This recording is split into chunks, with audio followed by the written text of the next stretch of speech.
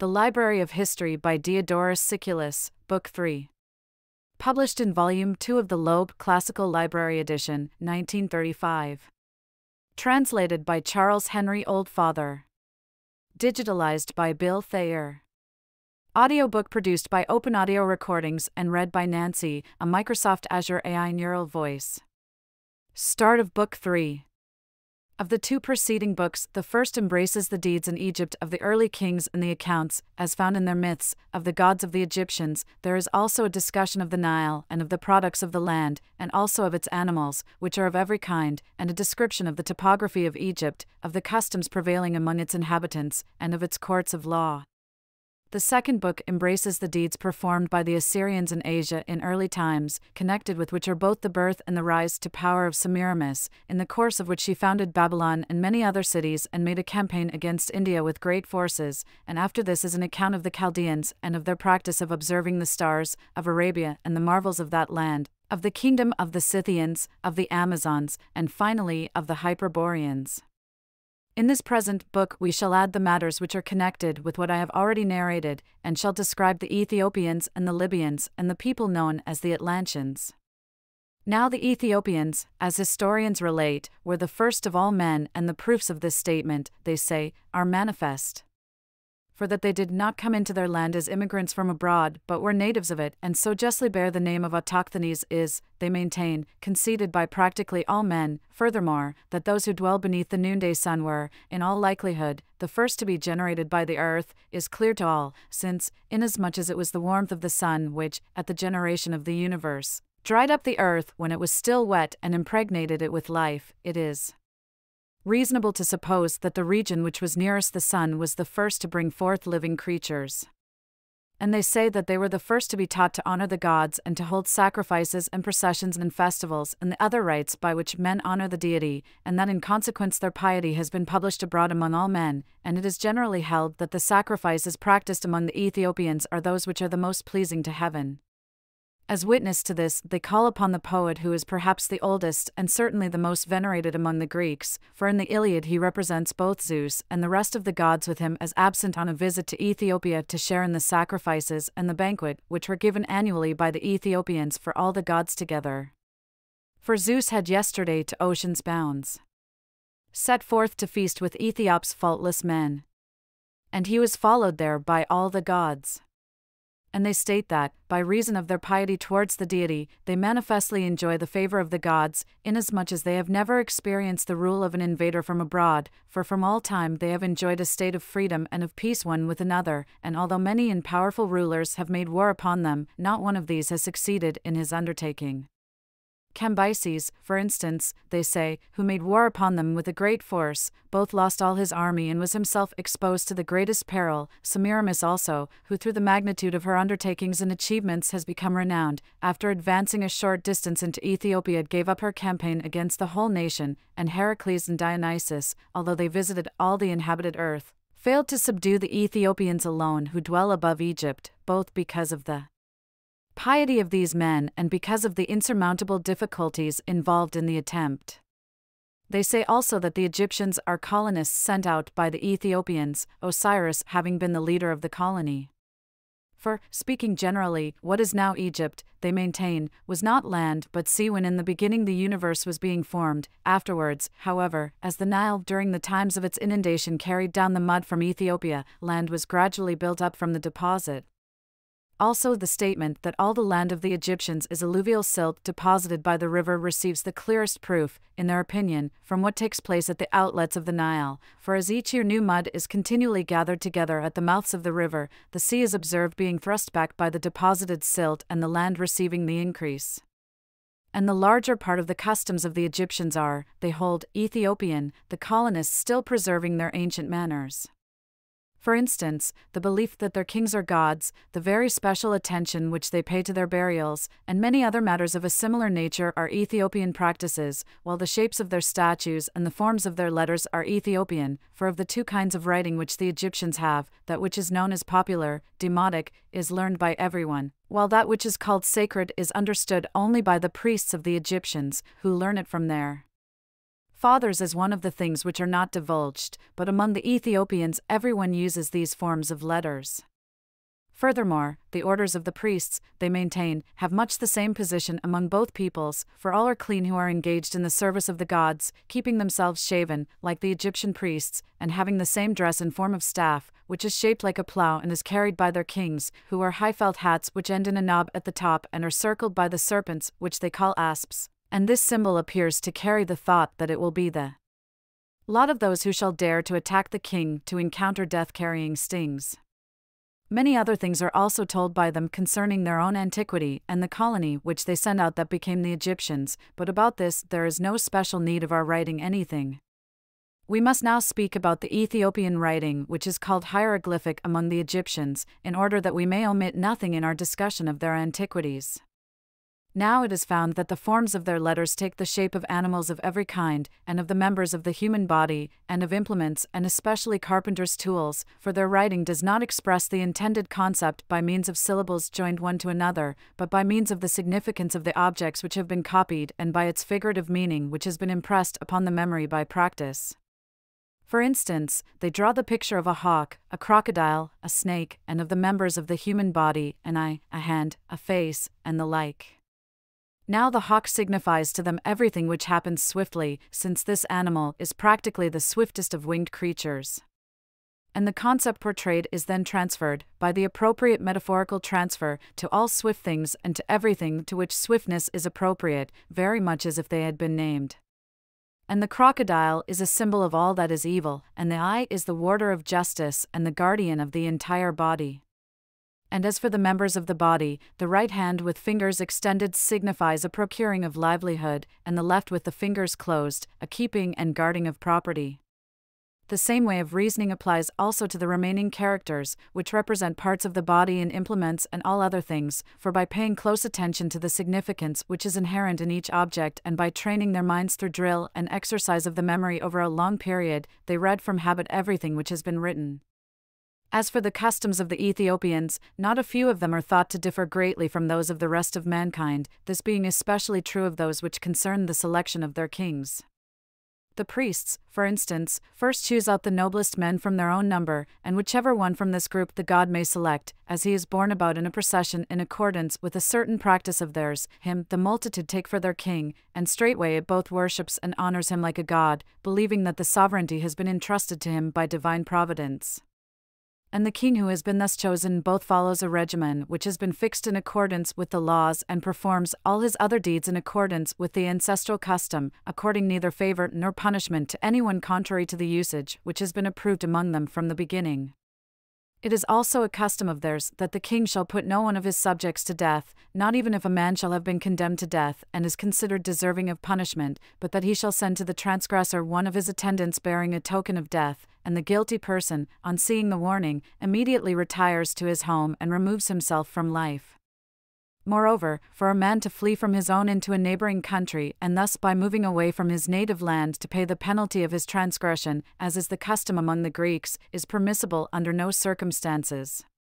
Consequently, they say, when a man to whom the token of death had been sent by the king once undertook to flee from Ethiopia, and his mother, on learning of this, bound his neck about with her girdle, he dared not so much as raise his hands against her in any way, but submitted to be strangled until he died, that he might not leave a greater disgrace to his kinsmen. Of all their customs, the most astonishing is that which obtains in connection with the death of their kings.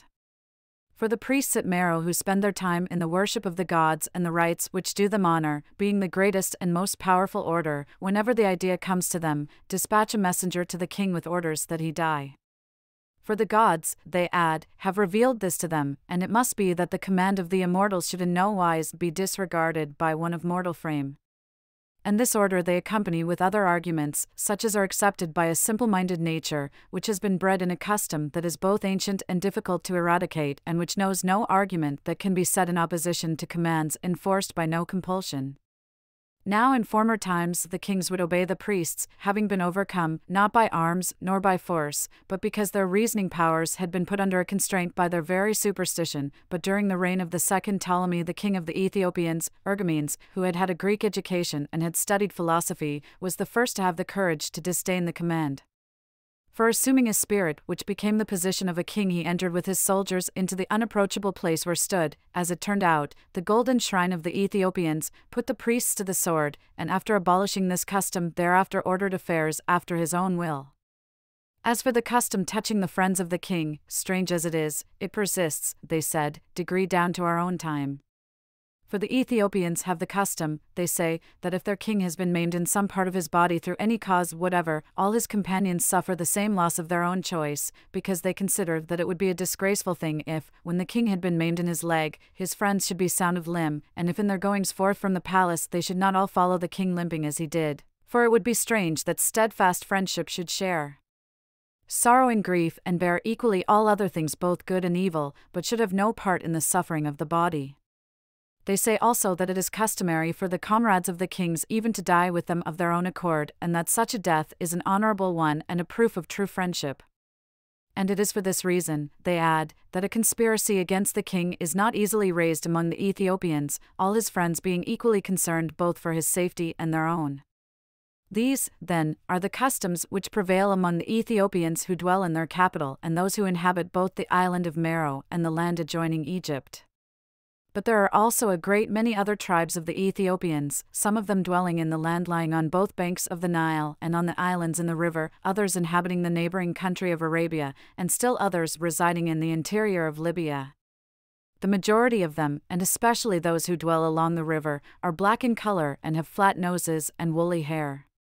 As for their spirit, they are entirely savage and display the nature of a wild beast, not so much, however, in their temper as in their ways of living, for they are squalid all over their bodies, they keep their nails very long like the wild beasts, and are as far removed as possible from human kindness to one another. And speaking as they do with a shrill voice, and cultivating none of the practices of civilized life as these are found among the rest of mankind, they present a striking contrast. When considered in the light of our own customs.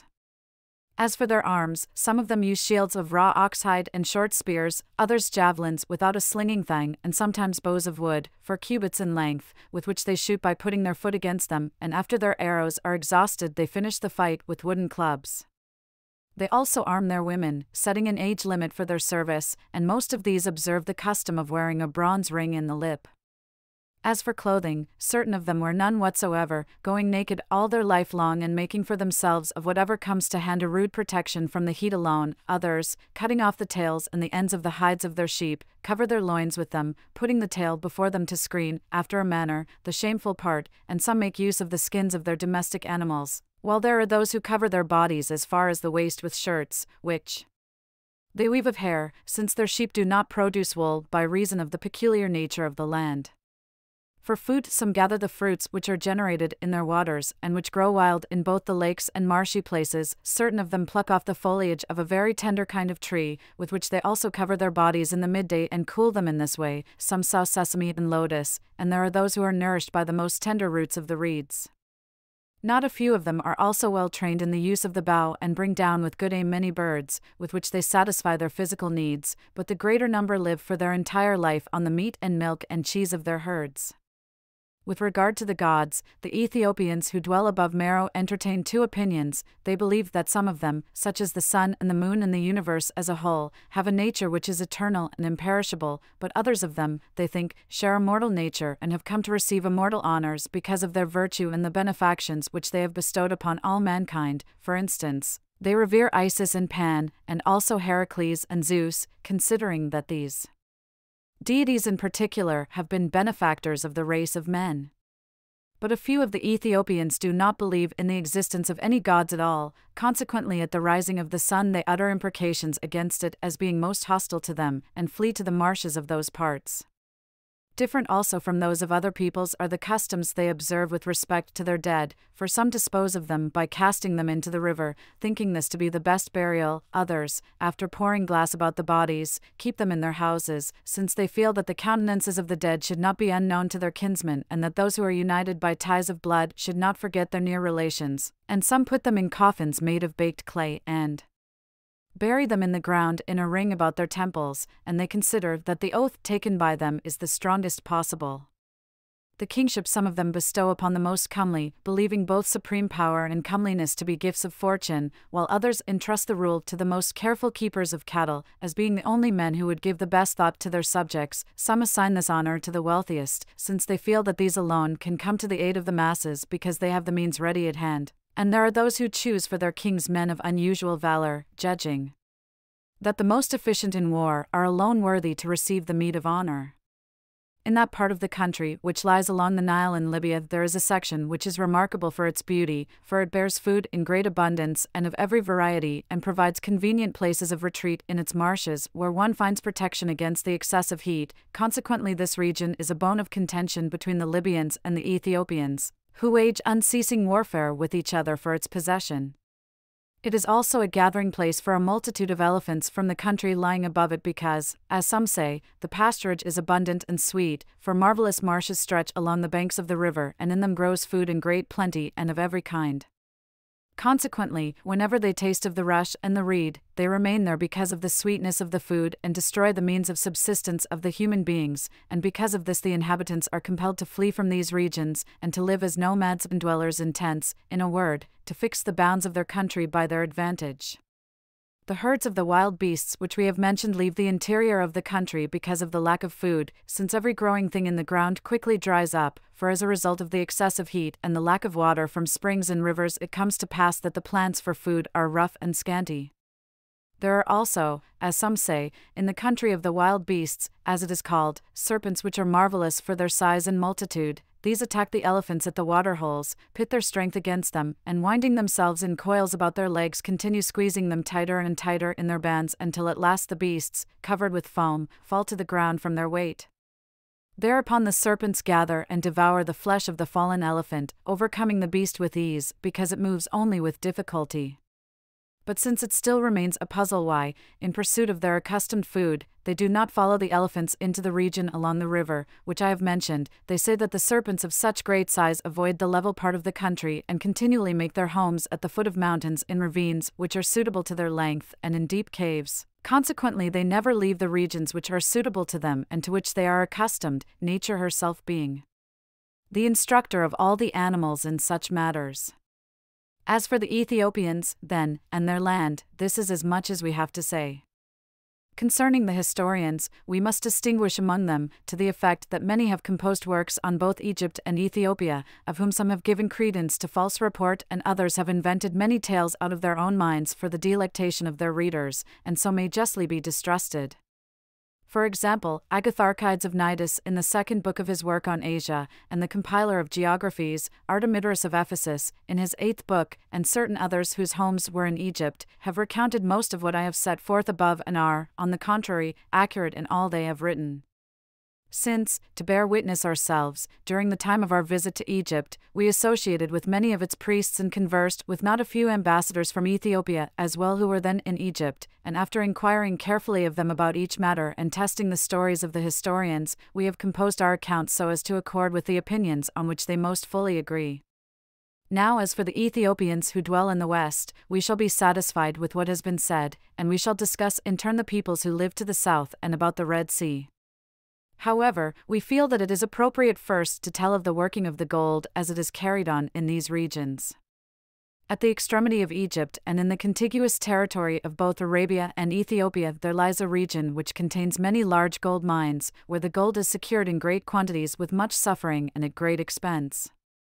for the earth is naturally black and contains seams and veins of a marble which is unusually white and in brilliancy surpasses everything else which shines brightly by its nature, and here the overseers of the labor in the mine's work recover the gold with the aid of a multitude of workers. For the kings of Egypt gather together and condemn to the mining of the gold such as have been found guilty of some crime and captives of war, as well as those who have been accused unjustly and thrown into prison because of their anger, and not only such persons but occasionally all their relatives as well by this means not only inflicting punishment upon those found guilty but also securing at the same time great revenues from their labors. And those who have been condemned in this way, and they are a great multitude, and are all bound in chains, work at their task unceasingly both by day and throughout the entire night, enjoying no respite and being carefully cut off from any means of escape, since guards of foreign soldiers who speak a language different from theirs stand watch over them, so that not a man, either by conversation or by some contact of a friendly nature, is able to corrupt one of his keepers. The gold bearing earth, which is hardest, they first burn with a hot fire, and when they have crumbled it in this way, they continue the working of it by hand, and the soft rock, which can yield to moderate effort, is crushed with a sledge by myriads of unfortunate wretches and the entire operations are in charge of a skilled worker who distinguishes the stone and points it out to the laborers, and of those who are assigned to this unfortunate task, the physically strongest break the quartz rock with iron hammers, applying no skill to the task, but only force, and cutting tunnels through the stone, not in a straight line, but wherever the seam of gleaming rock may lead.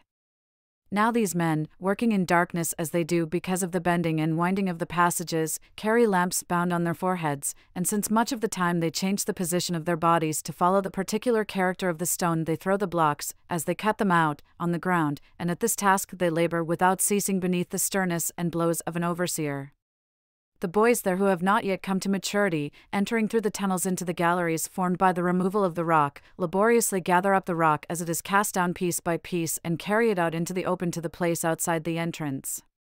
Then those who are above 30 years of age take this quarried stone from them and with iron pestles pound a specified amount of it in stone mortars until they have worked it down to the size of a vetch. Thereupon the women and older men receive from them the rock of this size and cast it into mills of which a number stand there in a row, and taking their places in groups of two or three at the spoke or handle of each mill, they grind it until they have worked down the amount given them to the consistency of the finest flour.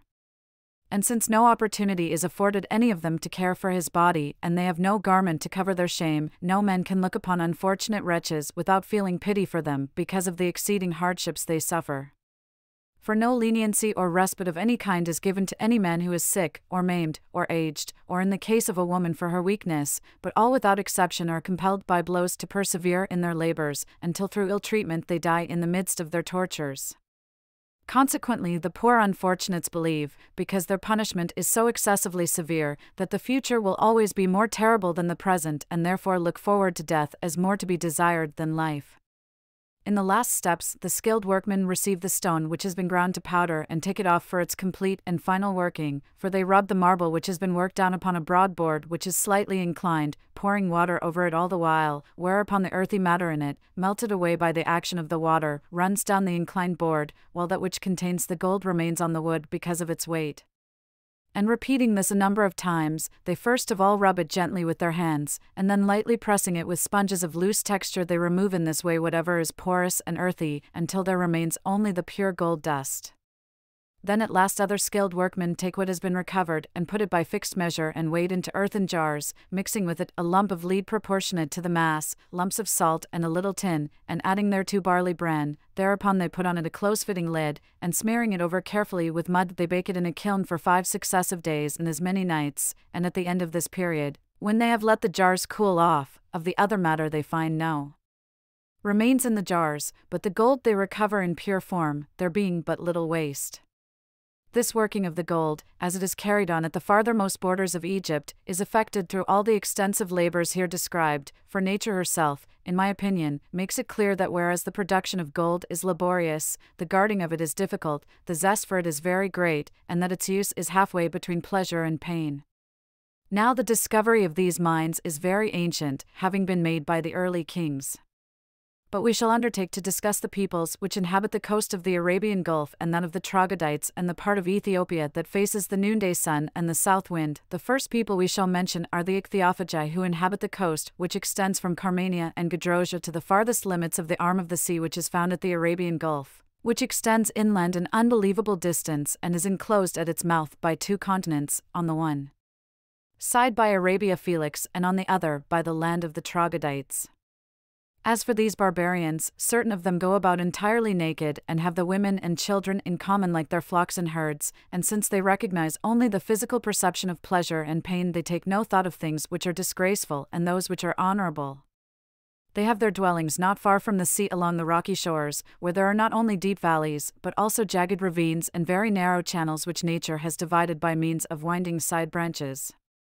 These branches being by their nature suited to their need, the natives close up the passages and outlets with heaps of great stones, and by means of these, as if with nets, they carry on the catching of the fish. For whenever the flood tide of the sea sweeps violently over the land, which happens twice daily and usually about the third and ninth hour, the sea covers in its flood all the rocky shore and together with the huge and violent billow carries to the land an incredible multitude of fish of every kind, which at first remain along the coast, wandering in search of food among the sheltered spots and hollow places. But whenever the time of ebb comes, the water flows off little by little through the heaps of rocks and ravines, but the fish are left behind in the hollow places. At this moment, the multitude of the natives with their children and women gather, as if at a single word of command, at the rocky shores.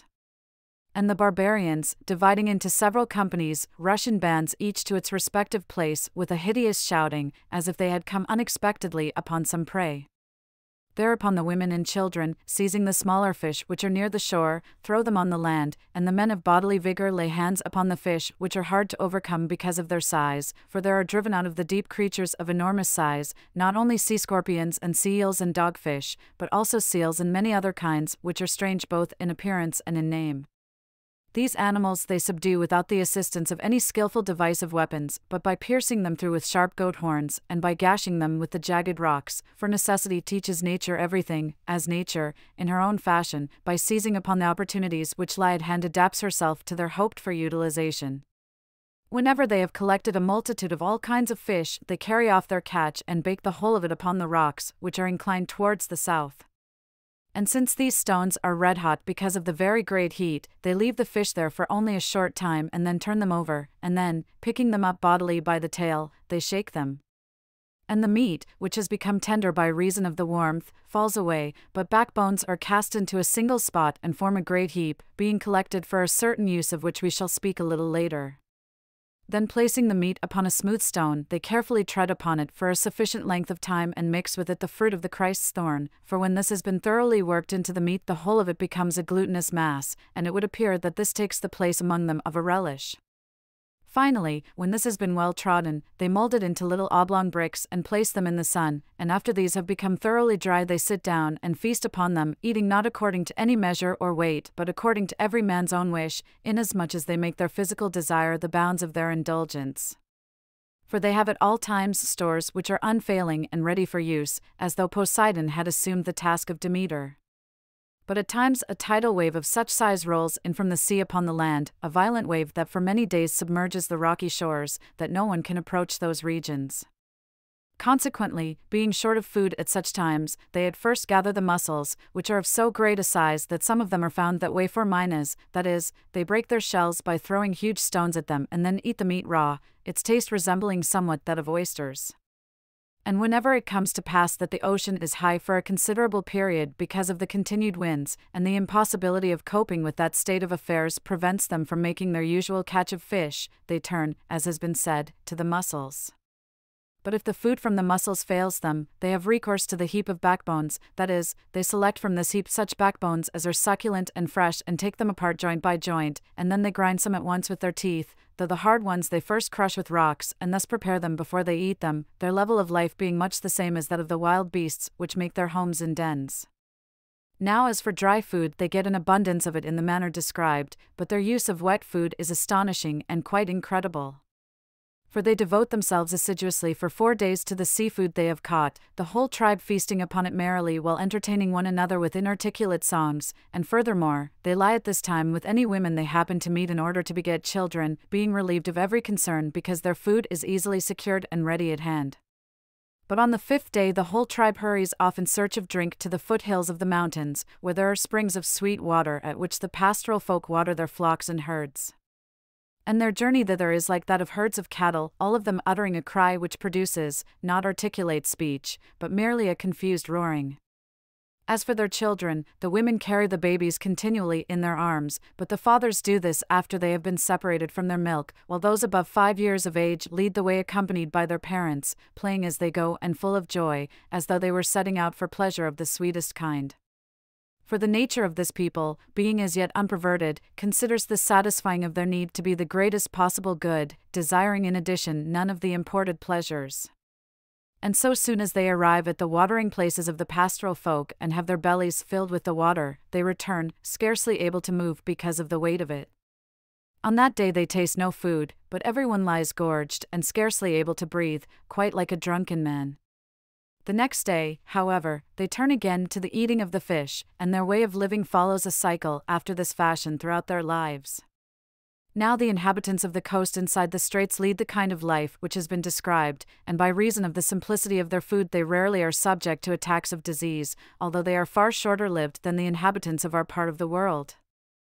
But as for the inhabitants of the coast outside the Gulf, we find that their life is far more astonishing than that of the people just described, it being as though their nature never suffers from thirst and is insensible to pain. For although they have been banished by fortune from the inhabited regions into the desert, they fare quite well from their catch of the fish, but wet food they do not require. For since they eat the fish while it is yet juicy and not far removed from the raw state, they are so far from requiring wet food that they have not even a notion of drinking and they are content with that food which was originally allotted to them by fortune, considering that the mere elimination of that pain which arises from want of food is happiness. But the most surprising thing of all is that in lack of sensibility they surpass all men, and to such a degree that what is recounted of them is scarcely credible and yet many merchants of Egypt, who sail, as is their practice, through the Red Sea down to this day and have often sailed as far as the land of the Ichthyophagi, agree in their accounts with what we have said about the human beings who are insensible to pain. The third Ptolemy also, who was passionately fond of hunting the elephants which are found in that region, sent one of his friends named Simmias to spy out the land, and he, setting out with suitable supplies, made, as the historian Agatharchides of Cnidus asserts, a thorough investigation of the nations lying along the coast. Now he says that the nation of the insensible Ethiopians makes no use whatsoever of drink and that their nature does not require it for the reasons given above. And as a general thing, he relates, they have no intercourse with other nations, nor does the foreign appearance of people who approach their shores have any effect upon the natives, but looking at them intently, they show no emotion, and their expressions remain unaltered, as if there were no one present. Indeed, when a man drew his sword and brandished it at them, they did not turn to flight, nor, if they were subjected to insult or even to blows, would they show irritation, and the majority were not moved to anger in sympathy with the victims of such treatment. On the contrary, when at times children or women were butchered before their eyes, they remained insensible in their attitudes, displaying no sign of anger or, on the other hand, of pity. In short, they remained unmoved in the face of the most appalling horrors, looking steadfastly at what was taking place and nodding their heads at each incident. Consequently, they say, they speak no language, but by movements of the hands, which describe each object, they point out everything they need. And the most marvelous fact of all is that seals live with these tribes and catch the fish for themselves in a manner similar to that employed by the human beings. Likewise, with respect to their lairs and the safety of their offspring, these two kinds of beings place the greatest faith in one another, for the association with animals of a different species continues without any wrongdoing and with peace and complete observance of propriety. Now, this manner of life, strange as it is, has been observed by these tribes from very early times, whether it has been fashioned by habit over the long space of time or by a need imposed by necessity because of stress of circumstances. As for their dwelling places, those used by these tribes are not all similar, but they inhabit homes modified to suit the peculiar nature of their surroundings. For instance, certain of them make their home in caves which open preferably towards the north and in which they cool themselves, thanks to the deep shade and also to the breezes which blow about them, since those which face the south, having as they do a temperature like that of an oven, cannot be approached by human beings because of the excessive heat but others who can find no caves facing the north collect the ribs of the whales, which are cast up by the sea, and then, since there is a great abundance of these ribs, they interweave them from either side, the curve outwards and leaning towards each other, and then weave fresh seaweed through them. Accordingly, when this vaulted structure is covered over, in it they gain relief from the heat when it is most intense, the necessity imposed by nature suggesting to them a skill in which they were self taught. A third method by which the ichthyophagi find a dwelling for themselves is as follows. Olive trees grow about these regions in very great numbers, and their roots are washed by the sea, but they bear thick foliage and a fruit which resembles the sweet chestnut. These trees they interlace, forming in this way a continuous shade, and live in tents of this peculiar kind, for passing their days as they do on land and in the water at the same time, they lead a pleasurable life, since they avoid the sun by means of the shade cast by the branches and offset the natural heat of the regions with the continual washing of the waves against them, giving their bodies comfort and ease by the pleasant breezes which blow about them. We must speak also about the fourth kind of habitation.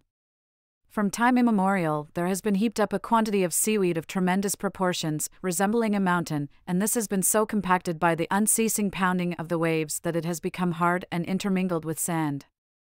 Accordingly, the natives dig in these heaps tunnels the height of a man, leaving the upper portion for a roof, and in the lower part they construct passageways connected with each other by borings. As they cool themselves in these tunnels, they free themselves from all troubles, and leaping forth from them at the times when the waves pour over the shore, they busy themselves with the catching of the fish. Then, when the ebb tide sets in, they flee back together into these same passageways to feast upon their catch. Their dead, moreover, they bury by leaving the bodies just as they are cast out at the ebb of the tide, and then when the flood tide sets in, they cast the bodies into the sea. Consequently, by making their own interment a nutriment of the fish, they have a life which follows in singular fashion a continuous cycle throughout all eternity. One tribe of the ichthyophagi has dwellings so peculiar that they constitute a great puzzle to men who take a pride in investigating such matters, for certain of them make their home among precipitous crags which these men could not possibly have approached at the outset, since from above there overhangs a lofty rock, sheer at every point, while on the sides unapproachable cliffs shut off entrance, and on the remaining face the sea hems them in, which cannot be passed through on foot, and they do not use rafts at all, while of boats such as we have they have no notion. Such being the puzzle concerning them, the only solution left to us is that they are autochthonous, and that they experience no beginning of the race they originally sprang from, but existed always from the beginning of time, as certain natural philosophers have declared to be true of all the phenomena of nature. But since the knowledge of such matters is unattainable by us, nothing prevents those who have the most to say about them from knowing the least, inasmuch as, while plausibility may persuade the hearing, it by no means discovers the truth.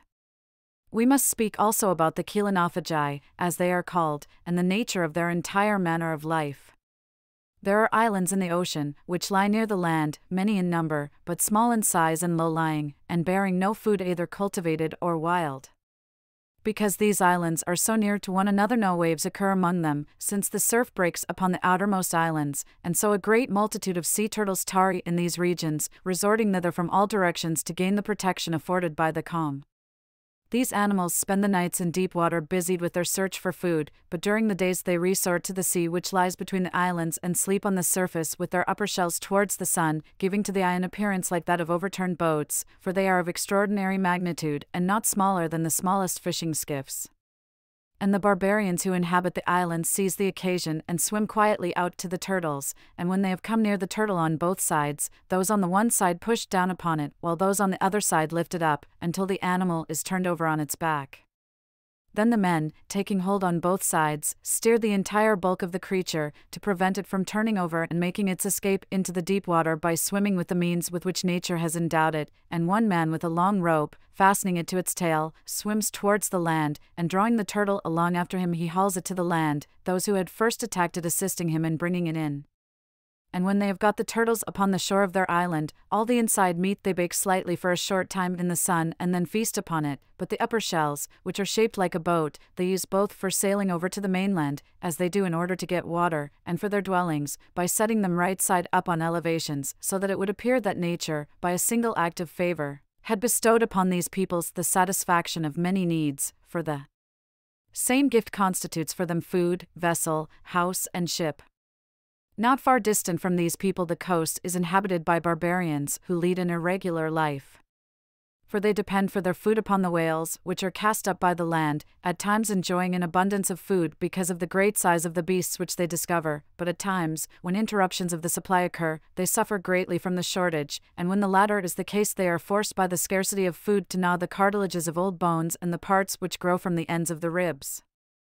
As for the ichthyophagi, then this is the number of their tribes, and such, speaking summarily, are the ways in which they live. But the coast of Babylonia borders on a land which is civilized and well planted, and there is such a multitude of fish for the natives that the men who catch them are unable readily to keep ahead of the abundance of them. For along the beaches they set reeds close to one another and interwoven, so that their appearance is like that of a net which has been set up along the edge of the sea.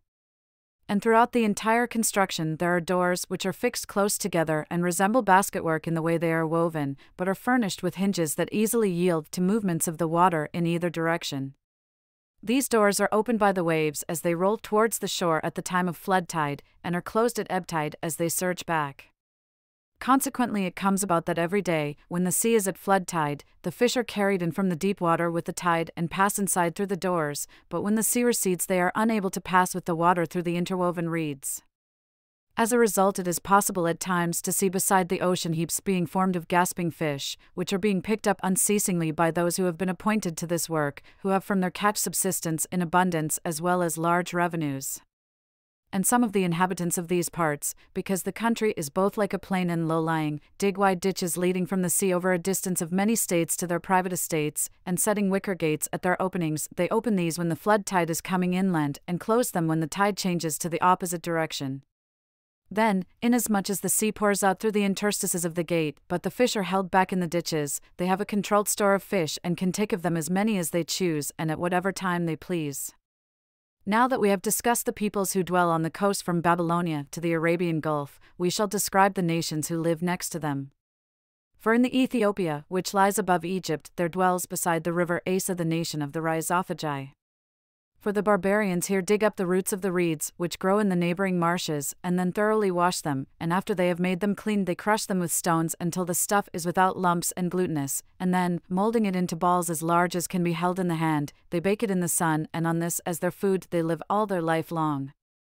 Enjoying as they do the unfailing abundance of this food and living ever at peace with one another, they are nevertheless preyed upon by a multitude of lions, for since the air about them is fiery hot, lions come out of the desert to them in search of shade and in some cases in pursuit of the smaller animals. Consequently, it comes to pass that when the Ethiopians come out of the marshy lands, they are eaten by these beasts, for they are unable to withstand the might of the lions, since they have no help in the form of weapons, and indeed, in the end, the race of them would have been utterly destroyed had not nature provided them with an aid which acts entirely of itself for at the time of the rising of the dog star, whenever a calm unexpectedly comes on, there swarms to these regions such a multitude of mosquitoes, surpassing in vigor those that are known to us, that while the human beings find refuge in the marshy pools and suffer no hurt, all the lions flee from those regions, since they not only suffer from their stings, but are at the same time terrified by the sound of their humming. Next to these people are the Hylophagi and the Spermatophagi, as they are called. The latter gather the fruit as it falls in great abundance from the trees in the summer season and so find their nourishment without labor, but during the rest of the year they subsist upon the most tender part of the plant which grows in the shady glens, for this plant, being naturally stiff and having a stem like the baunias, as we call it, supplies the lack of the necessary food. The Hylophagi, however, setting out with children and wives in search of food, climb the trees and subsist off the tender branches and this climbing of theirs even to the topmost branches they perform so well as a result of their continued practice that a man can scarcely believe what they do. Indeed, they leap from one tree to another like birds and make their way up the weakest branches without experiencing dangers. For being in body unusually slender and light, whenever their feet slip, they catch hold instead with their hands, and if they happen to fall from a height, they suffer no hurt by reason of their light weight, and every juicy branch they chew so thoroughly with their teeth that their stomachs easily digest them. These men go naked all their life, and since they consort with their women in common, they likewise look upon their offspring as the common children of all. They fight with one another for the possession of certain places, arming themselves with clubs, with which they also keep off enemies, and they dismember whomsoever they have overcome. Most of them die from becoming exhausted by hunger, when cataracts form upon their eyes, and the body is deprived of the necessary use of this organ of sense. The next part of the country of the Ethiopians is occupied by the Cynegi, as they are called, who are moderate in number and lead a life in keeping with their name. For since their country is infested by wild beasts and is utterly worthless, and has few streams of spring water, they sleep in the trees from fear of the wild beasts, but early in the morning, repairing with their weapons to the pools of water, they secrete themselves in the woods and keep watch from their positions in the trees. And at the time when the heat becomes intense, wild oxen and leopards and a multitude of every other kind of beast come to drink, and because of the excessive heat and their great thirst, they greedily quaff the water until they are gorged. Whereupon the Ethiopians, the animals having become sluggish and scarcely able to move, leap down from the trees, and by the use of clubs hardened in the fire and of stones and arrows easily kill them. They hunt in this way in companies and feed upon the flesh of their prey, and although now and then they are themselves slain by the strongest animals, yet for the most part they master by their cunning the superior strength of the beasts. And if at any time they find lack of animals in their hunt, they soak the skins of some which they had taken at former times, and then hold them over a low fire, and when they have singed off the hair, they divide the hides among themselves, and on such fare as has been forced upon them they satisfy their want. Their boys they train in shooting at a mark and give food only to those who hit it. Consequently, when they come to manhood, they are marvelously skilled in marksmanship, being most excellently instructed by the pangs of hunger. Far distant from this country towards the parts to the west are Ethiopians known as elephant fighters, hunters also for dwelling, as they do in regions close together, they carefully observe the places where the elephants enter and their favorite resorts, watching them from the tallest trees, and when they are in herds they do not set upon them, since they would have no hope of success, but they lay hands on them as they go about singly, attacking them in an astonishingly daring manner for as the beast in its wandering comes near the tree in which the watcher happens to be hidden, the moment it is passing the spot he seizes its tail with his hands and plants his feet against its left flank. He is hanging from his shoulders an axe, light enough to that a blow may be struck with one hand, and yet exceedingly sharp, and seizing this in his right hand he hamstrings the elephant's right leg, raining blows upon it and maintaining the position of his own body with his left hand and they bring an astonishing swiftness to bear upon the task, since there is a contest between the two of them for their very lives, for all that is left to the hunter is either to get the better of the animal or to die himself, the situation not admitting another conclusion.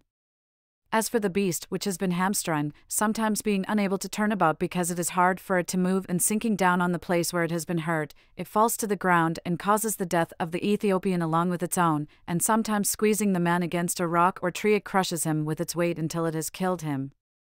In some cases, however, the elephant in the extremity of its suffering is far from thinking of turning on its attacker, but flees across the plain until the man who has set his feet upon it, striking on the same place with his axe, has severed the tendons and paralyzed the beast. And as soon as the beast has fallen, they run together in companies, and cutting the flesh off the hind quarters of the elephant while it is still alive, they hold a feast. But some of the natives who dwell nearby hunt the elephants without exposing themselves to dangers, overcoming their strength by cunning. For it is the habit of this animal, whenever it has had its fill of grazing, to lie down to sleep, the manner in which it does this being different from that of all other four footed animals, for it cannot bring its whole bulk to the ground by bending its knees, but leans against a tree and thus gets the rest which comes from sleep. A consequently, the tree, by reason of the frequent leaning against it by the animal, becomes both rubbed and covered with mud, and the place about it, furthermore, shows both tracks and many signs, whereby the Ethiopians who search for such traces discover where the elephants take their rest. Accordingly, when they come upon such a tree, they saw it near the ground until it requires only a little push to make it fall. Thereupon, after removing the traces of their own presence, they quickly depart in anticipation of the approach of the animal, and towards evening the elephant, filled with food, comes to his accustomed haunt. But as soon as he leans against the tree with his entire weight, he at once rolls to the ground along with the tree, and after his fall, he remains there lying on his back the night through, since the nature of his body is not fashioned for rising. Then the Ethiopians who have sawn the tree gather at dawn, and when they have slain the beast without danger to themselves, they pitch their tents at the place and remain there until they have consumed the fallen animal. The parts west of these tribes are inhabited by Ethiopians who are called Simi, but those towards the south are held by the tribe of the Struthophagi. For there is found among them a kind of bird having a nature which is mingled with that of the land animal, and this explains the compound name it bears. This animal is not inferior in size to the largest deer and has been fashioned by nature with a long neck and a round body, which is covered with feathers. Its head is weak and small, but it has powerful thighs and legs, and its foot is cloven. It is unable to fly in the air because of its weight, but it runs more swiftly than any other animal, barely touching the earth with the tips of its feet, and especially when it raises its wings adown the blasts of the wind, it makes off like a ship under full sail, and it defends itself against its pursuers by means of its feet, hurling, as if from a sling, in an astonishing manner, stones as large as can be held in the hand. But when it is pursued at a time of calm, its wings quickly collapse, it is unable to make use of the advantages given it by nature, and being easily overtaken, it is made captive. And since these animals abound in the land in multitude beyond telling, the barbarians devise every manner of scheme whereby to take them. Moreover, since they are easily caught in large numbers, their meat is used for food and their skins for clothing and bedding but being constantly warred upon by the Ethiopians known as Simi, they are in daily peril from their attackers, and they use as defensive weapons the horns of gazelles. These horns, being large and sharp, are of great service and are found in abundance throughout the land by reason of the multitude of the animals which carry them. A short distance from this tribe on the edge of the desert dwell the Acridophagi, men who are smaller than the rest, lean of body, and exceeding dark for among them in the spring season strong west and southwest winds drive out of the desert a multitude beyond telling of locusts, of great and unusual size, and with wings of an ugly, dirty color. From these locusts they have food in abundance all their life long, catching them in a manner peculiar to themselves for along the border of their land over many stades there extends a ravine of considerable depth and width. This they fill with wood from the forests, which is found in plenty in their land, and then, when the winds blow, which we have mentioned, and the clouds of the locusts approach, they divide among themselves the whole extent of the ravine and set fire to the brush in it and since a great volume of pungent smoke rises, the locusts, as they fly over the ravine, are choked by the pungency of the smoke and fall to the ground after they have flown through it only a short space, and as the destruction of them continues over several days, great heaps of them are raised up. Moreover, since the land contains a great amount of brine, all the people bring this to the heaps, after they have been gathered together, soak them to an appropriate degree with the brine, and thus both give the locusts a palatable taste and make their storage free from rot and lasting for a long time. Accordingly, the food of this people, at the moment and thereafter, consists of these animals, for they possess no herds, nor do they live near the sea, nor do they have at hand any other resources, and light in body, and very swift of foot as they are, they are also altogether short lived, the oldest among them not exceeding forty years of age. As for the manner in which they end their lives, not only is it astounding but extremely pitiful for when old age draws near their breed in their bodies winged lice, which not only have an unusual form but are also savage and altogether loathsome in aspect. The affliction begins on the belly and the breast, and in a short time spreads over the whole body and the person so affected is at first irritated by a kind of itching and insists on scratching himself a bit, the disease at this point offering a satisfaction combined with pain. But after this stage, the animals, which have been continuously engendered more and more in the body, break out to the surface, and there is a heavy discharge of a thin humor, the sting of which is quite unbearable. Consequently, the man who is in the grip of the disease lacerates himself with his nails the more violently, groaning and moaning deeply and as his hands tear at his body, such a multitude of the vermin pours forth that those who try to pick them off accomplish nothing, since they issue forth one after another, as from a kind of vessel that is pierced throughout with holes. And so these wretches end their lives in a dissolution of the body after this manner, a miserable fate, meeting with such a sudden reversal of fortune either by reason of the peculiar character of their food or because of the climate. Along the borders of this people there stretches a country great in size and rich in its varied pasturage, but it is without inhabitants and altogether impossible for men to enter, not that it has from the first never known the race of men, but in later times, as a result of an unseasonable abundance of rain, it brought forth a multitude of venomous spiders and scorpions. For, as historians relate, so great a multitude of these animals came to abound that, although at the outset the human beings dwelling there united in killing the natural enemy, yet, because the multitude of them was not to be overcome and their bites brought swift death to their victims, they renounced both their ancestral land and mode of life and fled from these regions.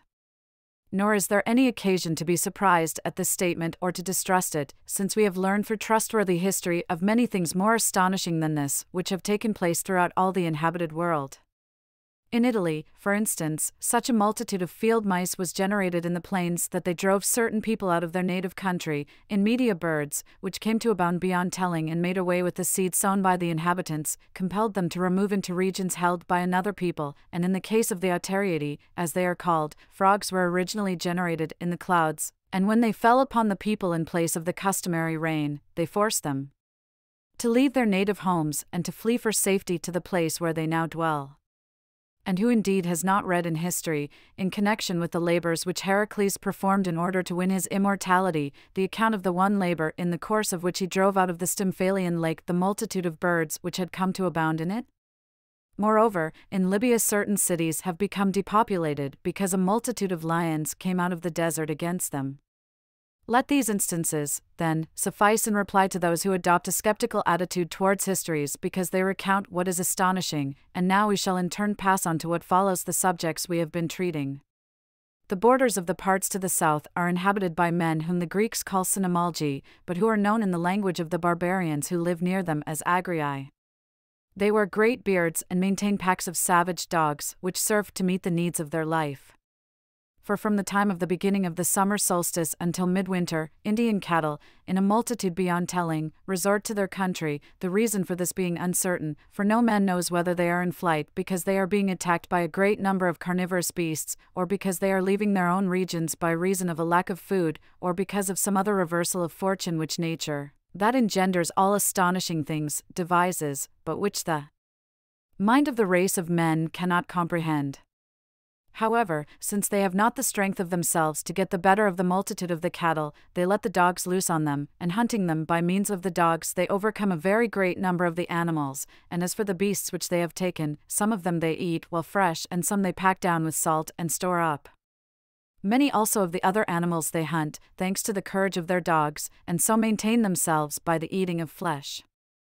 Now, the most distant tribes of those peoples who live to the south have indeed the forms of men, but their life is that of the beasts. However, it remains for us to discuss two peoples, the Ethiopians and the Troglodytes. But about the Ethiopians we have written in other connections, and so we shall now speak of the Troglodytes.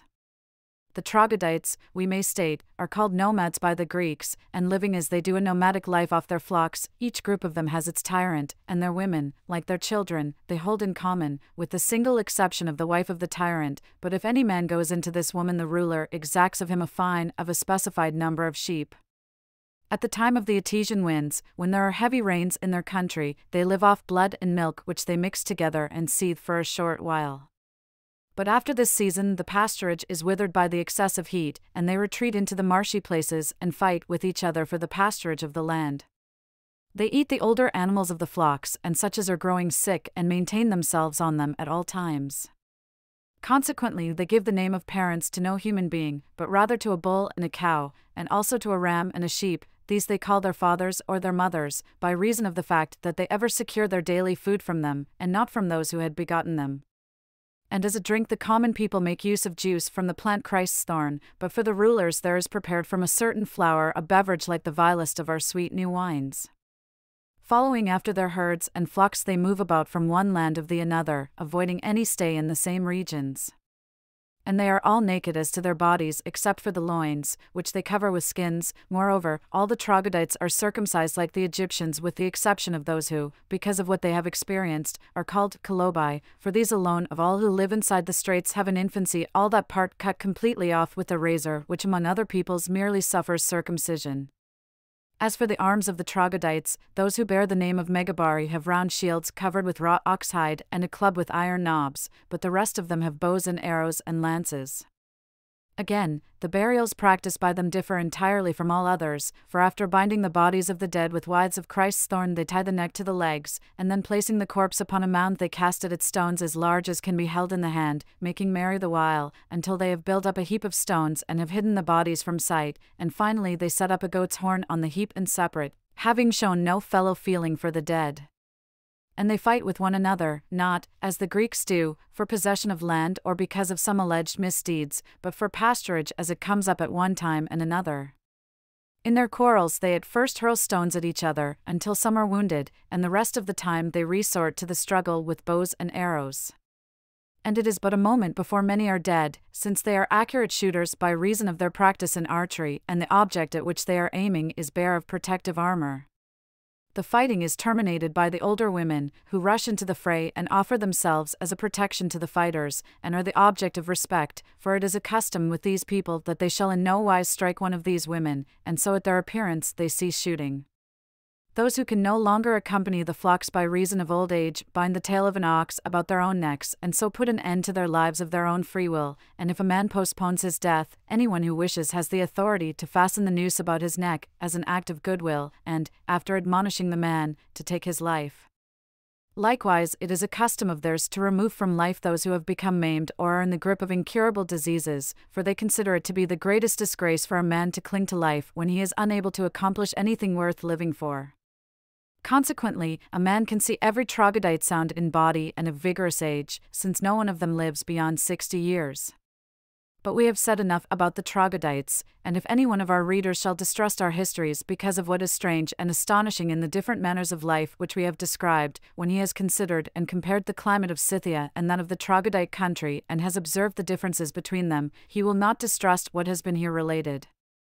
So great, for instance, is the contrast between our climate and the climates which we have described that the difference, when considered in detail, surpasses belief.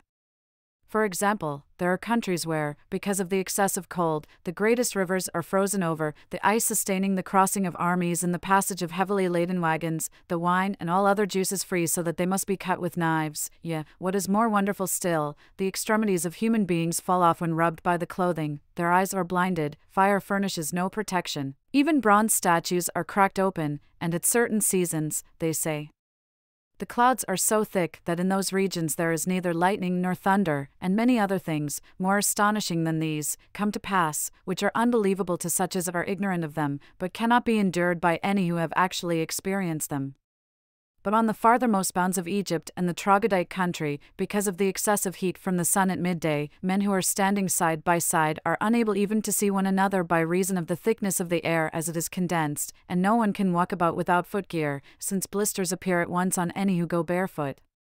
And as for drink, unless it is ready to hand to satisfy the need of it, they speedily perish, since the heat swiftly exhausts the natural moistures in the body. Moreover, whenever any man puts any food into a bronze vessel along with water and sets it in the sun, it quickly boils without fire or wood. Nevertheless, the inhabitants of both the lands which we have mentioned, far from desiring to escape from the excessive evils which befall them, actually, on the contrary, give up their lives of their own accord simply to avoid being compelled to make trial of a different fare and manner of life.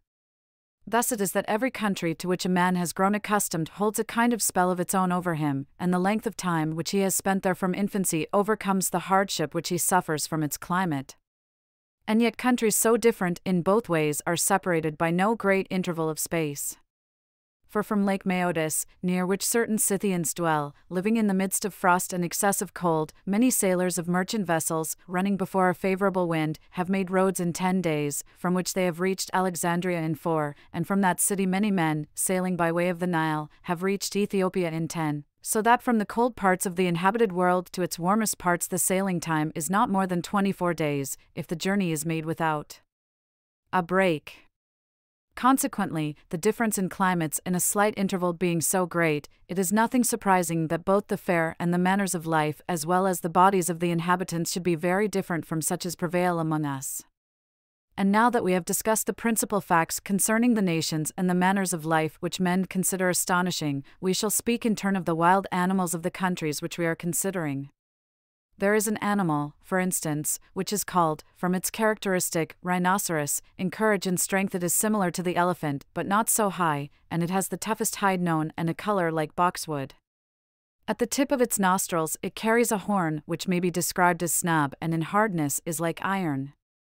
Since it is ever contesting with the elephant about pasturage, it sharpens its horn on stones, and when it opens the fight with this animal, it slips under its belly and rips open the flesh with its horn as with a sword. By adopting this kind of fighting, it drains the blood of the beasts and kills many of them.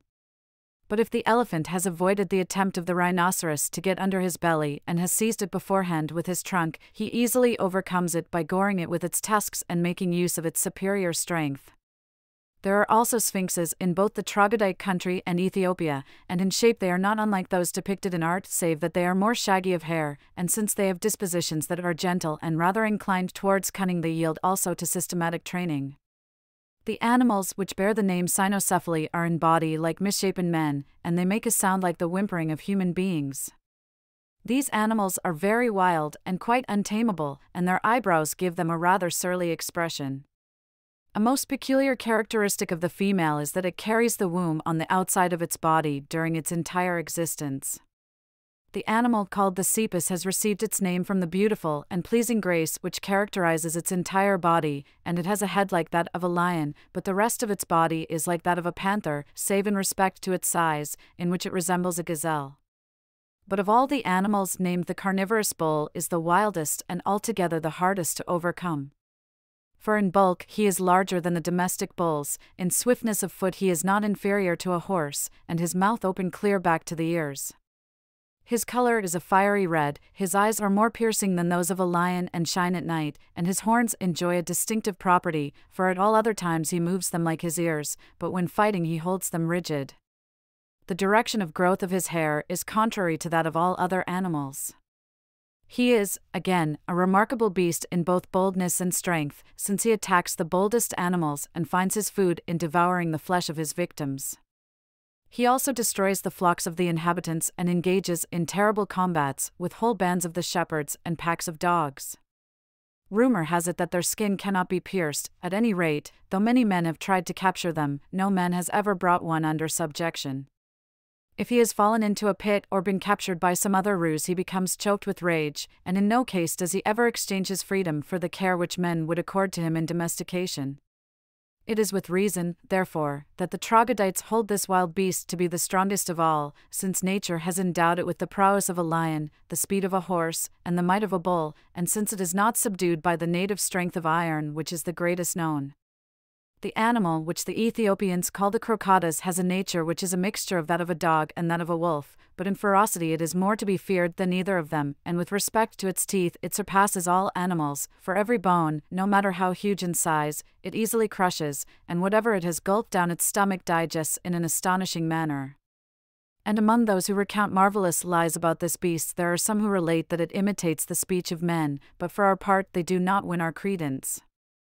As for snakes, those peoples which dwell near the country which is desert and infested by beasts say that there is every kind of them, of a magnitude surpassing belief. For when certain writers state that they have seen some 100 cubits long, it may justly be assumed, not only by us, but by everybody else, that they are telling a falsehood. Indeed, they add to this tale, which is utterly distrusted, things far more astonishing, when they say that, since the country is flat like a plain, whenever the largest of these beasts coil themselves up, they make, by the coils which have been wound in circles and rest one upon another, elevations which seen from a distance resemble a hill. Now a man may not readily agree as to the magnitude of the beasts of which we have just spoken, but we shall describe the largest beasts which have actually been seen and were brought to Alexandria in certain well made receptacles, and shall add a detailed description of the manner in which they were captured the second Ptolemy, who was passionately fond of the hunting of elephants and gave great rewards to those who succeeded in capturing against odds the most valiant of these beasts, expending on this hobby great sums of money, not only collected great herds of war elephants, but also brought to the knowledge of the Greeks other kinds of animals which had never before been seen and were objects of amazement. Consequently, certain of the hunters, observing the princely generosity of the king in the matter of the rewards he gave, rounding up a considerable number, decided to hazard their lives and to capture one of the huge snakes and bring it alive to Ptolemy at Alexandria. Great and astonishing as was the undertaking, fortune aided their designs and crowned their attempt with the success which it deserved for they spied one of the snakes, thirty cubits long, as it loitered near the pools in which the water collects. Here it maintained for most of the time its coiled body motionless, but at the appearance of an animal which came down to the spot to quench its thirst, it would suddenly uncoil itself, seize the animal in its jaws, and so entwine in its coil the body of the creature which had come into view that it could in no wise escape its doom. And so, since the beast was long and slender and sluggish in nature, hoping that they could master it with nooses and ropes, they approached it with confidence the first time, having ready to hand everything which they might need. But as they drew near it, they constantly grew more and more terrified as they gazed upon its fiery eye and its tongue darting out in every direction, caught the hideous sound made by the roughness of its scales as it made its way through the trees and brushed against them, and noted the extraordinary size of its teeth and the astonishing height of its heap of coils. Consequently, after they had driven the color from their cheeks through fear, with cowardly trembling they cast the nooses about its tail. But the beast, the moment the rope touched its body, whirled around with so mighty a hissing as to frighten them out of their wits, and raising itself into the air above the head of the foremost man, it seized him in its mouth and ate his flesh while he still lived. And the second it caught from a distance with a coil as it fled, drew him to itself, and, winding itself about him, began squeezing his belly with its tightening bond, and as for all the rest, stricken with terror, they sought their safety in flight. Nevertheless, the hunters did not give up their attempt to capture the beast, the favor expected of the king and his reward outweighing the dangers which they had come to know full well as the result of their experiment, and by ingenuity and craft they did subdue that which was by force well nigh invincible, devising a kind of contrivance like the following they fashioned a circular thing woven of reeds closely set together, in general shape resembling a fisherman's creel and in size and capacity capable of holding the bulk of the beast. Then, when they had reconnoitred its hole and observed the time when it went forth to feed and returned again, so soon as it had set out to prey upon the other animals, as was its custom, they stopped the opening of its old hole with large stones and earth, and digging an underground cavity near its lair, they set the woven net in it and placed the mouth of the net opposite the opening, so that it was in this way all ready for the beast to enter. Against the return of the animal, they had made ready archers and slingers and many horsemen, as well as trumpeters and all the other apparatus needed, and as the beast drew near, it raised its neck in air higher than the horsemen. Now the company of men who had assembled for the hunt did not dare to draw near it, being warned by the mishaps which had befallen them on the former occasion, but shooting at it from afar, and with many hands aiming at a single target, and a large one at that, they kept hitting it, and when the horsemen appeared and the multitude of bold fighting dogs, and then again when the trumpets blared, they got the animal terrified. Consequently, when it retreated to its accustomed lair, they closed in upon it, but only so far as not to arouse it still more and when it came near the opening which had been stopped up, the whole throng, acting together, raised a mighty din with their arms and thus increased its confusion and fear because of the crowds which put in their appearance and of the trumpets. But the beast could not find the opening, and so, terrified at the advance of the hunters, fled for refuge into the mouth of the net which had been prepared near by and when the woven net began to be filled up as the snake uncoiled itself, some of the hunters anticipated its movements by leaping forward, and before the snake could turn about to face the entrance, they closed and fastened with ropes the mouth, which was long and had been shrewdly devised with such swiftness of operation in mind. Then they hauled out the woven net and putting rollers under it drew it up into the air. But the beast, enclosed as it was in a straitened place, kept sending forth an unnatural and terrible hissing and tried to pull down with its teeth the reeds which enveloped it, and by twisting itself in every direction created the expectation in the minds of the men who were carrying it that it would leap out of the contrivance which enveloped it. Consequently, in terror, they set the snake down on the ground, and by jabbing it about tail, they diverted the attention of the beast from its work of tearing with its teeth to its sensation of pain in the parts which hurt. When they had brought the snake to Alexandria, they presented it to the king, an astonishing sight, which those cannot credit who have merely heard the tale. And by depriving the beast of its food, they wore down its spirit and little by little tamed it, so that the domestication of it became a thing of wonder. As for Ptolemy, he distributed among the hunters the merited rewards, and kept and fed the snake, which had now been tamed and afforded the greatest and most astonishing sight for the strangers who visited his kingdom. Consequently, in view of the fact that a snake of so great a size has been exposed to the public gaze, it is not fair to doubt the word of the Ethiopians or to assume that the report which they circulated far and wide was a mere fiction for they state that there are to be seen in their country snakes so great in size that they not only eat both oxen and bulls and other animals of equal bulk, but even join issue in battle with the elephants, and by intertwining their coil about the elephants' legs, they prevent the natural movement of them, and by rearing their necks above their trunks, they put their heads directly opposite the eyes of the elephants, and sending forth, by reason of the fiery nature of their eyes, brilliant Flashes like lightning, they first blind their sight and then throw them to the ground and devour of the flesh of their conquered foes. But now that we have examined with sufficient care Ethiopia and the Troglodyte country and the territory adjoining them, as far as the region which is uninhabited because of the excessive heat, and, beside these, the coast of the Red Sea and the Atlantic Deep which stretches towards the south, we shall give an account of the part which still remains, and I refer to the Arabian Gulf drawing in part upon the royal records preserved in Alexandria and in part upon what we have learned from men who have seen it with their own eyes. For this section of the inhabited world and that about the British Isles and the far north have by no means come to be included in the common knowledge of men. But as for the parts of the inhabited world which lie to the far north and border on the area which is uninhabited because of the cold, we shall discuss them when we record the deeds of Gaius Caesar, for he it was who extended the Roman Empire the farthest into those parts, and brought it about that all the area which had formerly been unknown came to be included in a narrative of history, but the Arabian Gulf, as it is called, opens into the ocean which lies to the south, and its innermost recess, which stretches over a distance of very many stades in length, is enclosed by the farthermost borders of Arabia and the Troglodyte country. Its width at the mouth and at the innermost recess is about 16 stades, but from the harbor of Panormus to the opposite mainland is a day's run for a warship. And its greatest width is at the Turkius mountain and Macaria, an island out at sea, the mainlands there being out of sight of each other but from this point the width steadily decreases more and more and continually tapers as far as the entrance. And as a man sails along the coast, he comes in many places upon long islands with narrow passages between them, where the current rises full and strong. Such, then, is the setting, in general terms, of this gulf but for our part, we shall make our beginning with the farthest regions of the innermost recess and then sail along its two sides past the mainlands, in connection with which we shall describe what is peculiar to them and most deserving of discussion, and first of all we shall take the right side, the coast of which is inhabited by tribes of the troglodytes as far inland as the desert.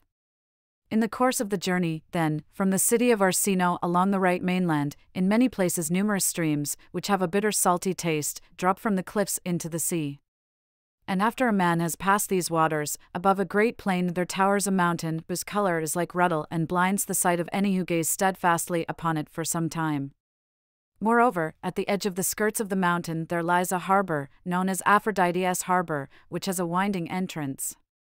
Above this harbor are situated three islands, two of which abound in olive trees and are thickly shaded, while one falls short of the other two in respect of the number of these trees, but contains a multitude of the birds called meleagrides.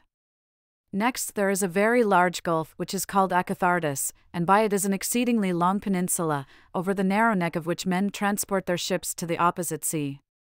and as a man coasts along these regions, he comes to an island which lies at a distance out in the open sea and stretches for a length of eighty stades. The name of it is Ophiodes, and it was formerly full of fearful serpents of every variety, which was in fact the reason why it received this name. But in later times, the kings at Alexandria have labored so diligently on the reclaiming of it that not one of the animals which were formerly there is any longer to be seen on the island. However, we should not pass over the reason why the kings showed diligence in the reclamation of the island for there is found on it the topaz, as it is called, which is a pleasing transparent stone, similar to glass, and of a marvelous golden hue. Consequently, no unauthorized person may set foot upon the island, and it is closely guarded, every man who has approached it being put to death by the guards who are stationed there. And the latter are few in number and lead a miserable existence for in order to prevent any stone being stolen, not a single boat is left on the island. Furthermore, any who sail by pass along it at a distance because of their fear of the king, and the provisions which are brought to it are quickly exhausted, and there are absolutely no other provisions in the land. Consequently, whenever only a little food is left, all the inhabitants of the village sit down and await the arrival of the ship of those who are bringing the provisions, and when these are delayed, they are reduced to their last hopes and the stone we have mentioned, being found in the rock, is not discernible during the day because of the stifling heat, since it is overcome by the brilliance of the sun, but when night falls it shines in the dark and is visible from afar, in whatever place it may be. The guards on the island divide these places by lot among themselves and stand watch over them, and when the stone shines, they put around it, to mark the place, a vessel corresponding in size to the chunk of stone which gives out the light, and when day comes and they go their rounds, they cut out the area which has been so marked and turn it over to men who are able by reason of their craftsmanship to polish it properly. After sailing past these regions, one finds that the coast is inhabited by many nations of ichthyophagi and many nomadic troglodytes. Then there appear mountains of all manner of peculiarities until one comes to the harbor of Soteria, as it is called, which gained this name from the first Greek sailors who found safety there. From this region onwards, the gulf begins to become contracted and to curve toward Arabia and here it is found that the nature of the country and of the sea has altered by reason of the peculiar characteristic of the region, for the mainland appears to be low as seen from the sea, no elevation rising above it, and the sea, which runs to shoals, is found to have a depth of no more than three fathoms, while in color it is altogether green. The reason for this is, they say, not because the water is naturally of that color, but because of the mass of seaweed and tangle which shows from underwater. For ships, then, which are equipped with oars, the place is suitable enough, since it rolls along no wave from a great distance and affords, furthermore, fishing in the greatest abundance. But the ships which carry the elephants, being of deep draught because of their weight and heavy by reason of their equipment, bring upon their crews great and terrible dangers. For running as they do under full sail, and oftentimes being driven during the night before the force of the winds, sometimes they will strike against rocks and be wrecked, or sometimes run aground on slightly submerged spits. The sailors are unable to go over the sides of the ship because the water is deeper than a man's height, and when in their efforts to rescue their vessel by means of their punting poles they accomplish nothing, they jettison everything except their provisions, but if even by this course they do not succeed in effecting an escape, they fall into great perplexity by reason of the fact that they can make out neither an island nor a promontory nor another ship near at hand, for the region is altogether inhospitable, and only at rare intervals do men cross it in ships and to add to these evils, the waves within a moment's time cast up such a mass of sand against the body of the ship and heap it up in so incredible a fashion that it soon piles up a mound round about the place and binds the vessel, as if of set purpose, to the solid land. Now the men who have suffered this mishap, at the outset bewail their lot with moderation in the face of a deaf wilderness, having as yet not entirely abandoned hope of ultimate salvation, for oftentimes the swell of the flood tide has intervened for men in such a plight and raised the ship aloft, and suddenly appearing, as might a deus ex machina, has brought succor to men in the extremity of peril but when such God sent aid has not been vouchsafed to them and their food fails, then the strong cast the weaker into the sea in order that for the few left the remaining necessities of life may last a greater number of days. But finally, when they have blotted out of their minds all their hopes, these perish by a more miserable fate than those who had died before, for whereas the latter in a moment's time returned to nature the spirit which she had given them, these parcelled out their death into many separate hardships before they finally, suffering long protracted tortures, were granted the end of life. As for the ships which have been stripped of their crews in this pitiable fashion, though they remain for many years, like a group of cenotaphs, embedded on every side in a heap of sand, their masts and yardarms SI standing aloft, and they move those who behold them from afar to pity and sympathy for the men who have perished. For it is the king's command to leave in place such evidences of disasters that they may give notice to sailors of the region which works to their destruction and among the ichthyophagi who dwell nearby has been handed down a tale which has preserved the account received from their forefathers that once, when there was a great receding of the sea, the entire area of the gulf, which is what may be roughly described as the green appearance, became land, and that, after the sea had receded to the opposite parts and the solid ground in the depths of it had emerged to view, a mighty flood came back upon it again and returned the body of water to its former place the voyage along the coast, as one leaves these regions, from Ptolemais as far as the promontories of the Tauri we have already mentioned, when we told of Ptolemy's hunting of the elephants, and from the Tauri the coast swings to the east, and at the time of the summer solstice the shadows fall to the south, opposite to what is true with us, at about the second hour of the day. The country also has rivers, which flow from the Sabaean mountains, as they are called. Moreover, it is checkered by great plains as well, which bear mallows, cress, and palms, all of unbelievable size, and it also brings forth fruits of every description, which have an insipid taste and are unknown among us. That part which stretches towards the interior is full of elephants and wild bulls and lions, and many other powerful wild beasts of every description. The passage by sea is broken up by islands which, though they bear no cultivated fruit, support varieties of birds which are peculiar to them and marvelous to look upon. After this place, the sea is quite deep and produces all kinds of sea monsters of astonishing size, which, however, offer no harm to men unless one by accident falls upon their back fins, for they are unable to pursue the sailors, since when they rise from the sea their eyes are blinded by the brilliance of the sun.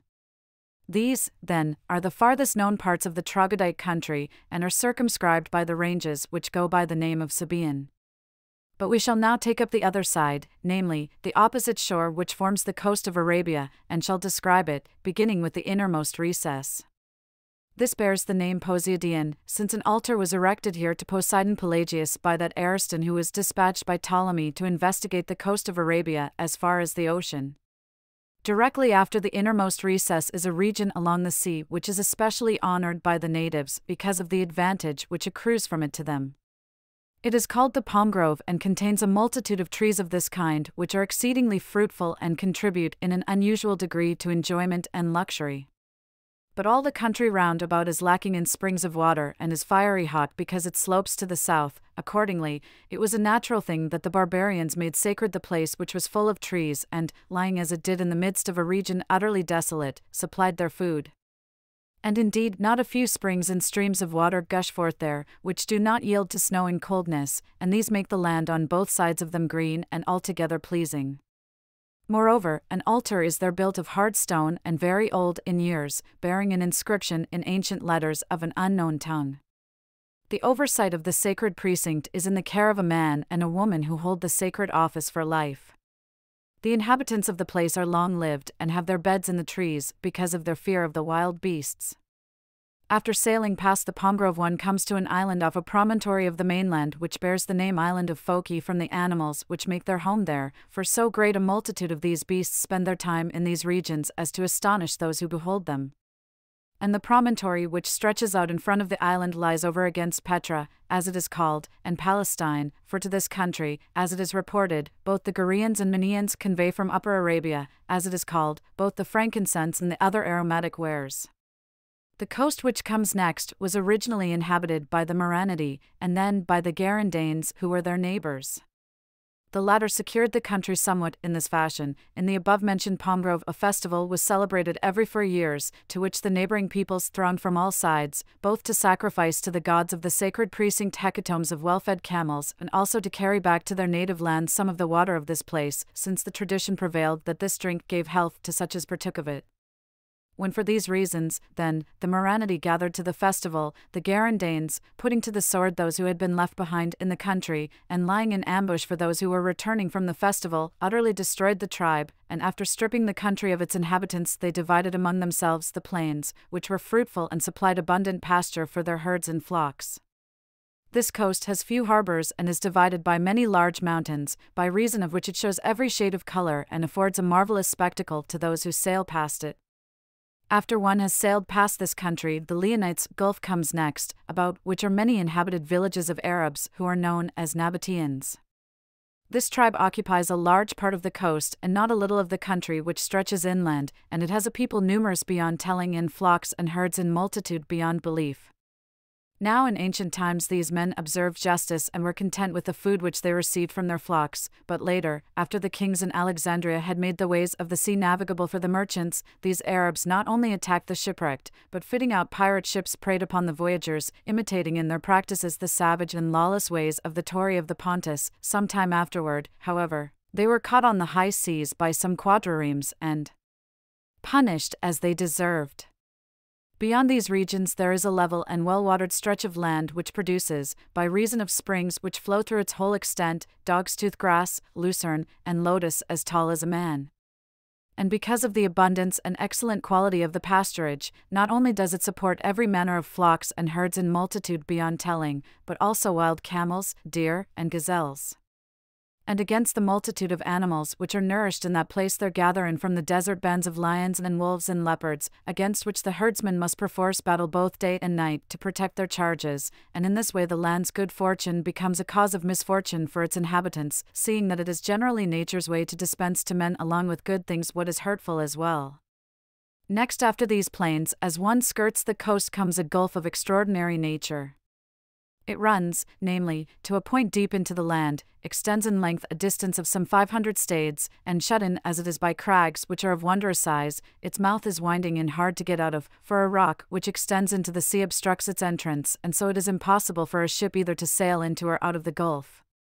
Furthermore, at times when the current rushes in and there are frequent shiftings of the winds, the surf, beating upon the rocky beach, roars and rages all about the projecting rock. The inhabitants of the land about the Gulf, who are known as Banizomenes, find their food by hunting the land animals and eating their meat. And a temple has been set up there, which is very holy and exceedingly revered by all Arabians. Next, there are three islands, which lie off the coast just described and provide numerous harbors. The first of these, history relates, is sacred to Isis and is uninhabited, and on it are stone foundations of ancient dwellings and stelae which are inscribed with letters in a barbarian tongue. The other two islands are likewise uninhabited, and all three are covered thick with olive trees, which differ from those we have. Beyond these islands, there extends for about a thousand stades a coast, which is precipitous and difficult for ships to sail past, for there is neither harbor beneath the cliffs nor roadstead where sailors may anchor, and no natural breakwater which affords shelter in emergency for mariners in distress. And parallel to the coast here runs a mountain range at whose summit are rocks, which are sheer and of a terrifying height, and at its base are sharp undersea ledges in many places, and behind them are ravines which are eaten away underneath and turn this way and that and since these ravines are connected by passages with one another and the sea is deep, the surf, as it at one time rushes in and at another time retreats, gives forth a sound resembling a mighty crash of thunder. At one place, the surf, as it breaks upon huge rocks, rocks leaps on high and causes an astonishing mass of foam, at another, it is swallowed up within the caverns and creates such a terrifying agitation of the waters that men who unwittingly draw near these places are so frightened that they die, as it were, a first death.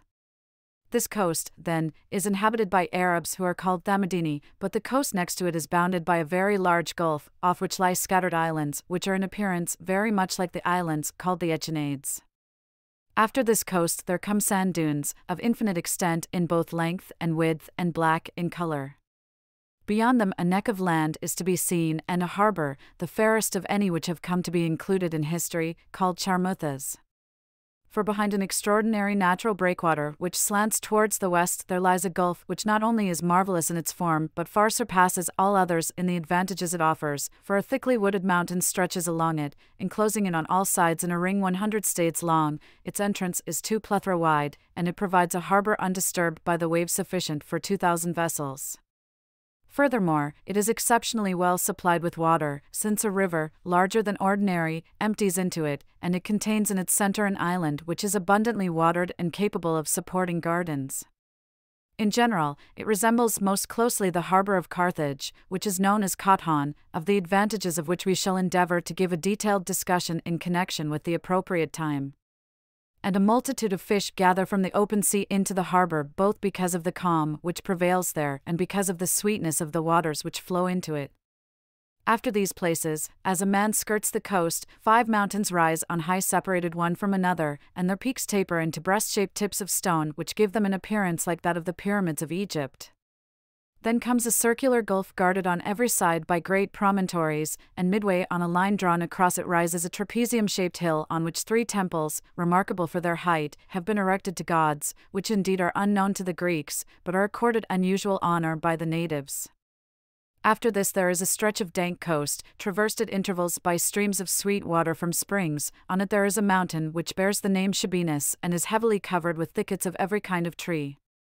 The land which adjoins the mountainous country is inhabited by the Arabs known as Debae. They are breeders of camels and make use of the services of this animal in connection with the most important needs of their life. For instance, they fight against their enemies from their backs, employ them for the conveyance of their wares, and thus easily accomplish all their business, drink their milk, and in this way get their food from them, and traverse their entire country riding upon their racing camels and down the center of their country runs a river which carries down such an amount of what is gold dust to all appearance that the mud glitters all over as it is carried out at its mouth. The natives of the region are entirely without experience in the working of the gold, but they are hospitable to strangers, not, however, to everyone who arrives among them, but only to Boeotians and Peloponnesians, the reason for this being the ancient friendship shown by Heracles for the tribe, a friendship which, they relate, has come down to them in the form of a myth as a heritage from their ancestors. The land which comes next is inhabited by Alilaei and Gasandi, Arab peoples, and is not fiery hot, like the neighboring territories, but is often overspread by mild and thick clouds, from which come heavy showers and timely storms that make the summer season temperate. The land produces everything and is exceptionally fertile, but it does not receive the cultivation of which it would admit because of the lack of experience of the folk. Gold they discover in underground galleries which have been formed by nature and gather in abundance, not that which has been fused into a mass out of gold dust, but the virgin gold, which is called, from its condition when found, unfired gold. And as for size, the smallest nugget found is about as large as the stone offered, and the largest not much smaller than a royal nut. This gold they wear about both their wrists and necks, perforating it and alternating it with transparent stones and since this precious metal abounds in their land, whereas there is a scarcity of copper and iron, they exchange it with merchants for equal parts of the latter wares. Beyond this people are the Carbae, as they are called, and beyond these the Sabaeans, who are the most numerous of the tribes of the Arabians. They inhabit that part of the country known as Arabia the Blessed, which produces most of the things which are held dear among us and nurtures flocks and herds of every kind in multitude beyond telling. And a natural sweet odor pervades the entire land because practically all the things which excel in fragrance grow there unceasingly. Along the coast, for instance, grow balsam, as called, and cassia and a certain other herb possessing a nature peculiar to itself, for when fresh it is most pleasing and delightful to the eye, but when kept for a time it suddenly fades to nothing and throughout the interior of land there are thick forests, in which are great trees which yield frankincense and myrrh, as well as palms and reeds, cinnamon trees, and every other kind which possesses a sweet odor as these have, for it is impossible to enumerate both the peculiar properties and natures of each one severally because of the great volume and the exceptional richness of the fragrance as it is gathered from each and all. For a divine thing, and beyond the power of words to describe, seems the fragrance which greets the nostrils and stirs the senses of everyone. Indeed, even though those who sail along this coast may be far from the land, that does not deprive them of a portion of the enjoyment which this fragrance affords, for in the summer season, when the wind is blowing offshore, one finds that the sweet odors exhaled by the myrrh bearing and other aromatic trees penetrate to the nearby parts of the sea, and the reason is that the essence of the sweet smelling herbs is not, as with us, kept laid away until it has become old and stale, but its Potency is in the full bloom of its strength and fresh, and penetrates to the most delicate parts of the sense of smell. And since the breeze carries the emanation of the most fragrant plants, to the voyagers who approach the coast there is wafted a blending of perfumes, delightful and potent, and healthful withal and exotic, composed as it is of the best of them, seeing that the product of the trees has not been minced into bits and so has exhaled its own special strength, nor yet lies stored away in vessels made of a different substance, but taken at the very prime of its freshness and while its divine nature keeps the shoot pure and undefiled. Consequently, those who partake of the unique fragrance feel that they are enjoying the ambrosia of which the myths relate, being unable, because of the superlative sweetness of the perfume, to find any other name that would be fitting and worthy of it. Nevertheless, fortune has not invested the inhabitants of this land with a felicity which is perfect and leaves no room for envy, but with such great gifts she has coupled what is harmful and may serve as a warning to such men as are wont to despise the gods because of the unbroken succession of their blessings. For in the most fragrant forests is a multitude of snakes, the color of which is dark red, their length a span, and their bites altogether incurable. They bite by leaping upon their victim, and as they spring on high, they leave a stain of blood upon his skin. And there is also something peculiar to the natives, which happens in the case of those whose bodies have become weakened by a protracted illness. For when the body has become permeated by an undiluted and pungent substance, and the combination of foreign bodies settles in a porous area, an enfeebled condition ensues which is difficult to cure. Consequently, at the sight of men afflicted in this way, they burn asphalt and the beard of a goat, combating the excessively sweet odor by that from substances of the opposite nature. Indeed, the good, when it is measured out in respect of quantity and order, is for human beings an aid and delight, but when it fails of due proportion and proper time, the gift which it bestows is unprofitable. The chief city of this tribe is called by them Sabae and is built upon a mountain. The kings of this city succeed to the throne by descent, and the people accord to them honors mingled with good and ill for though they have the appearance of leading a happy life, in that they impose commands upon all and are not accountable for their deeds, yet they are considered unfortunate, inasmuch as it is unlawful for them ever to leave the palace, and if they do so they are stoned to death, in accordance with a certain ancient oracle, by the common crowd. This tribe surpasses not only the neighboring Arabs, but also all other men in wealth, and in their several extravagancies besides for in the exchange and sale of their wares they, of all men who carry on trade for the sake of the silver they receive in exchange, obtain the highest price in return for things of the smallest weight. Consequently, since they have never for ages suffered the ravages of war because of their secluded position, and since an abundance of both gold and silver abounds in the country, especially in Sabae, where the royal palace is situated, they have embossed goblets of every description, made of silver and gold, couches and tripods with silver feet, and every other furnishing of incredible costliness, and halls encircled by large columns, some of them gilded, and others having silver figures on. The capitals. Their ceilings and doors they have partitioned by means of panels and coffers made of gold, set with precious stones and placed close together, and have thus made the structure of their houses in every part marvelous for its costliness. For some parts they have constructed of silver and gold, others of ivory, and that most showy precious stones or of whatever else men esteem most highly. For the fact is that these people have enjoyed their felicity unshaken since ages past, because they have been entire strangers to those whose own covetousness leads them to feel that another man's wealth is their own godsend. The sea in these parts looks to be white in color, so that the beholder marvels at the surprising phenomenon and at the same time seeks for its cause. And there are prosperous islands nearby, containing unwalled cities, all the herds of which are white in color, while no female has any horn whatsoever. These islands are visited by sailors from every part and especially from Potana, the city which Alexander founded on the Indus River, when he wished to have a naval station on the shore of the ocean. Now, as regards Arabia the Blessed and its inhabitants, we shall be satisfied with what has been said. But we must not omit to mention the strange phenomena which are seen in the heavens in these regions. The most marvelous is that which, according to accounts we have, has to do with the constellation of the Great Bear and occasions the greatest perplexity among navigators. What they relate is that, beginning with the month, which the Athenians call Maimacterion, not one of the seven stars of the Great Bear is seen until the first watch, in Poseidion none until second, and in the following months they gradually drop out of the sight of navigators. As for the other heavenly bodies, the planets, as they are called, are, in the case of some, larger than they appear with us, and in the case of others their risings and settings are also not the same, and the sun does not, as with us, send forth its light shortly in advance of its actual rising, but while the darkness of night still continues, it suddenly and contrary to all expectation appears and sends forth its light. Because of this, there is no daylight in those regions before the sun has become visible, and when out of the midst of the sea, as they say, it comes into view, it resembles a fiery red ball of charcoal which discharges huge sparks, and its shape does not look like a cone, as is the impression we have of it, but it has the shape of a column which has the appearance of being slightly thicker at the top, and furthermore, it does not shine or send out rays before the first hour, appearing as a fire that gives forth no light in the darkness, but at the beginning of the second hour it takes on the form of a round shield and sends forth a light which is exceptionally bright and fiery.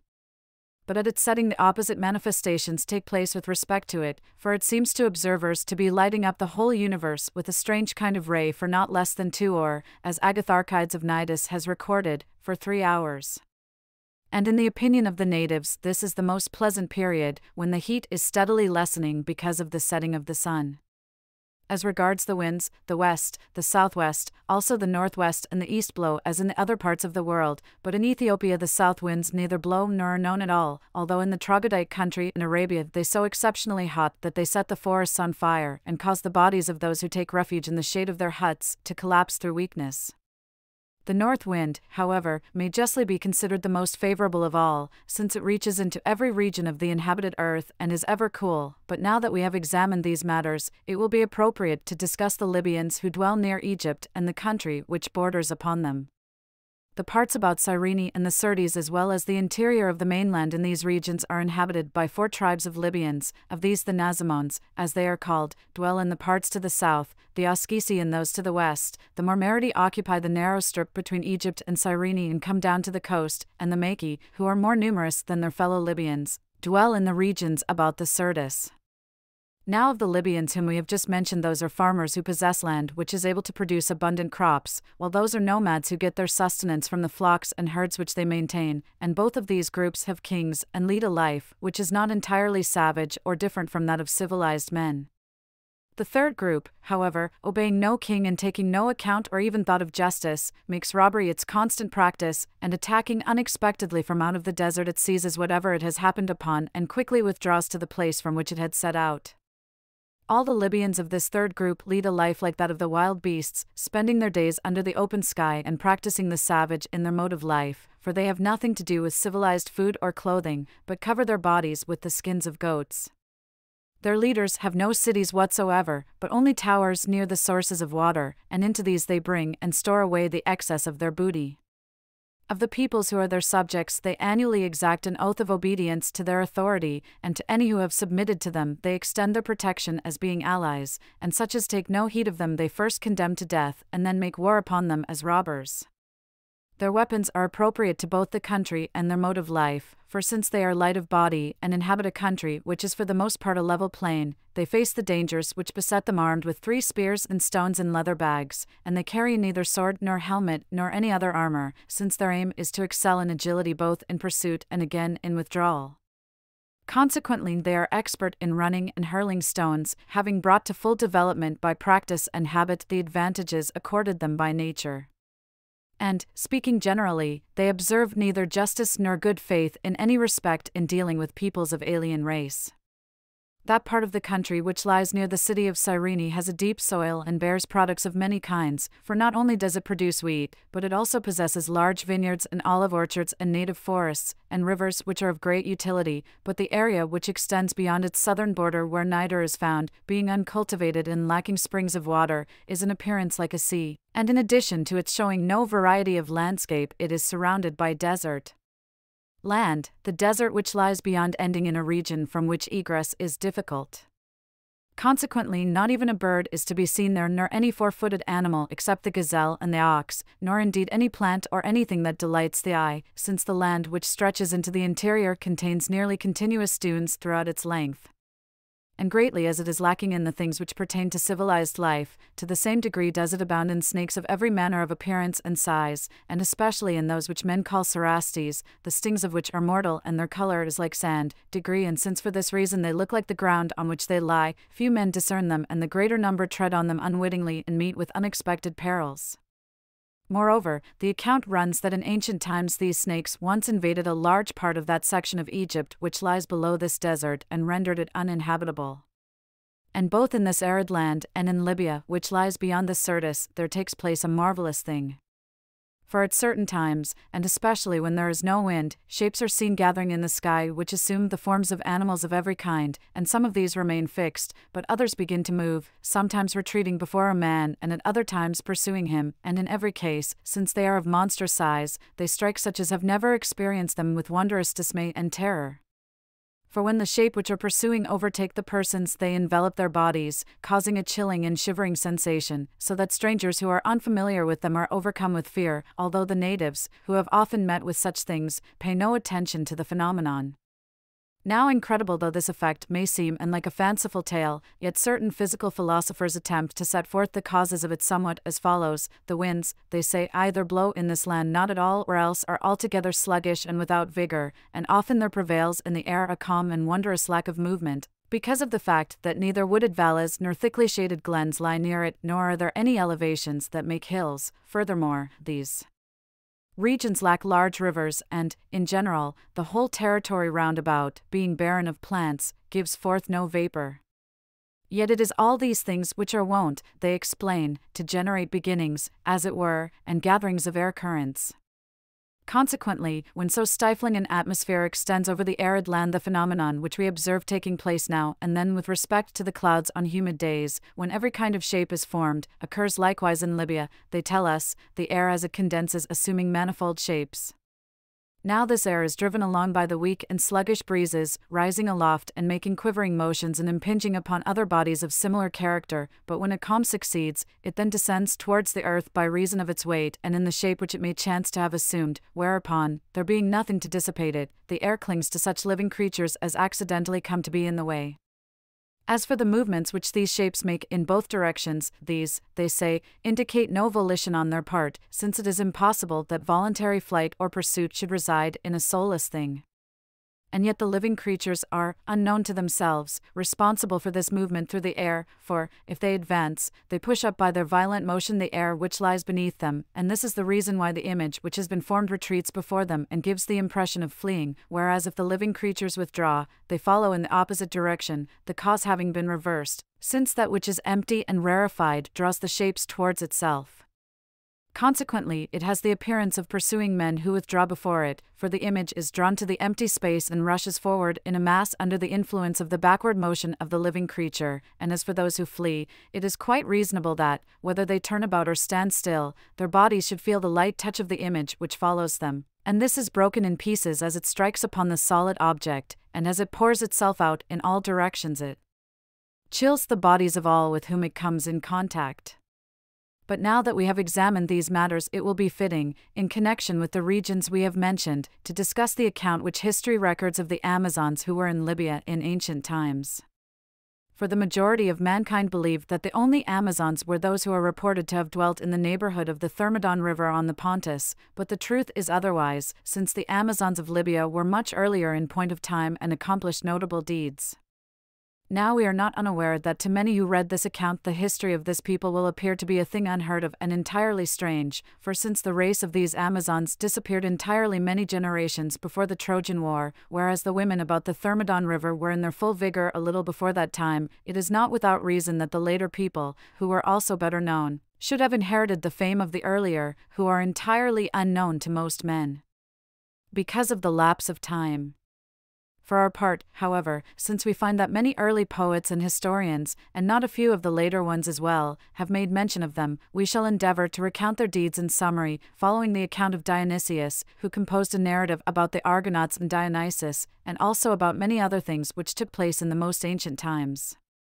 Now there have been in Libya a number of races of women who were warlike and greatly admired for their manly vigor. For instance, tradition tells us of the race of the Gorgons, against whom, as the account is given, Perseus made war, a race distinguished for its valor, for the fact that it was the son of Zeus, the mightiest Greek of his day, who accomplished the campaign against these women, and that this was his greatest labor may be taken by any man as proof of both the preeminence and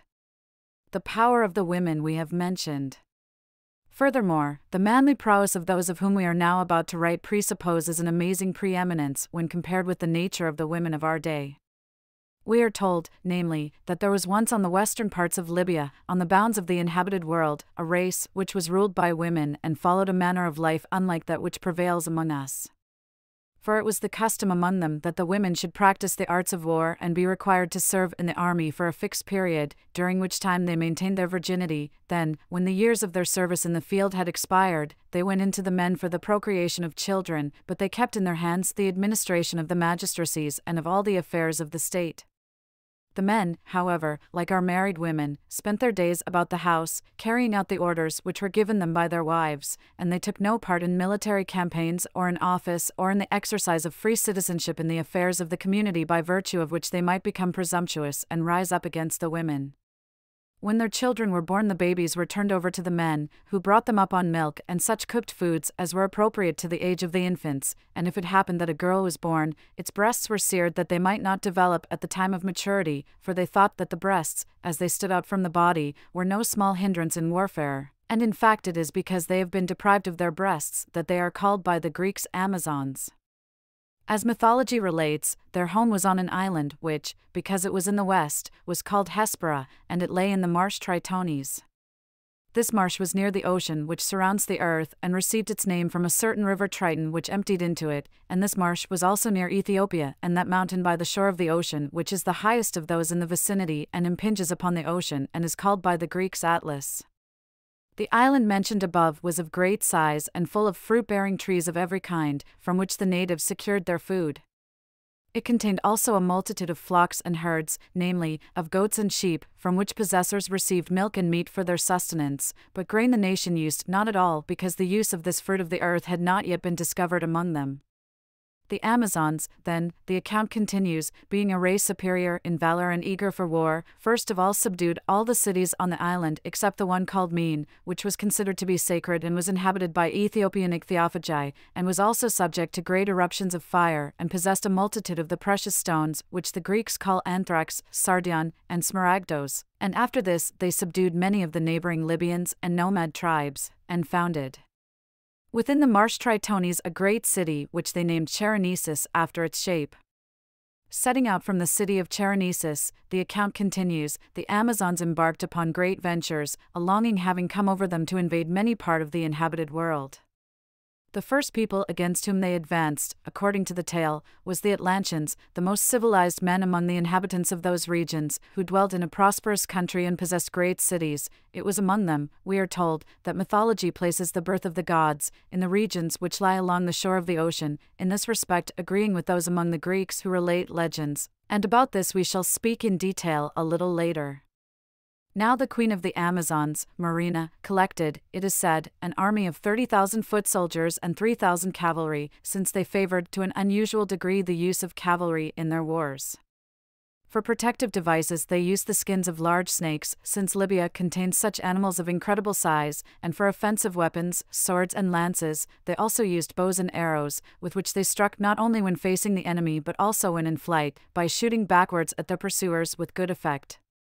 Upon entering the land of the Atlanteans, they defeated in a pitched battle the inhabitants of the city of Cerne, as it is called, and making their way inside the walls along with the fleeing enemy, they got the city into their hands, and desiring to strike terror into the neighboring peoples, they treated the captives savagely, put to the sword the men from the youth upward, led into slavery the children and women, and razed the city.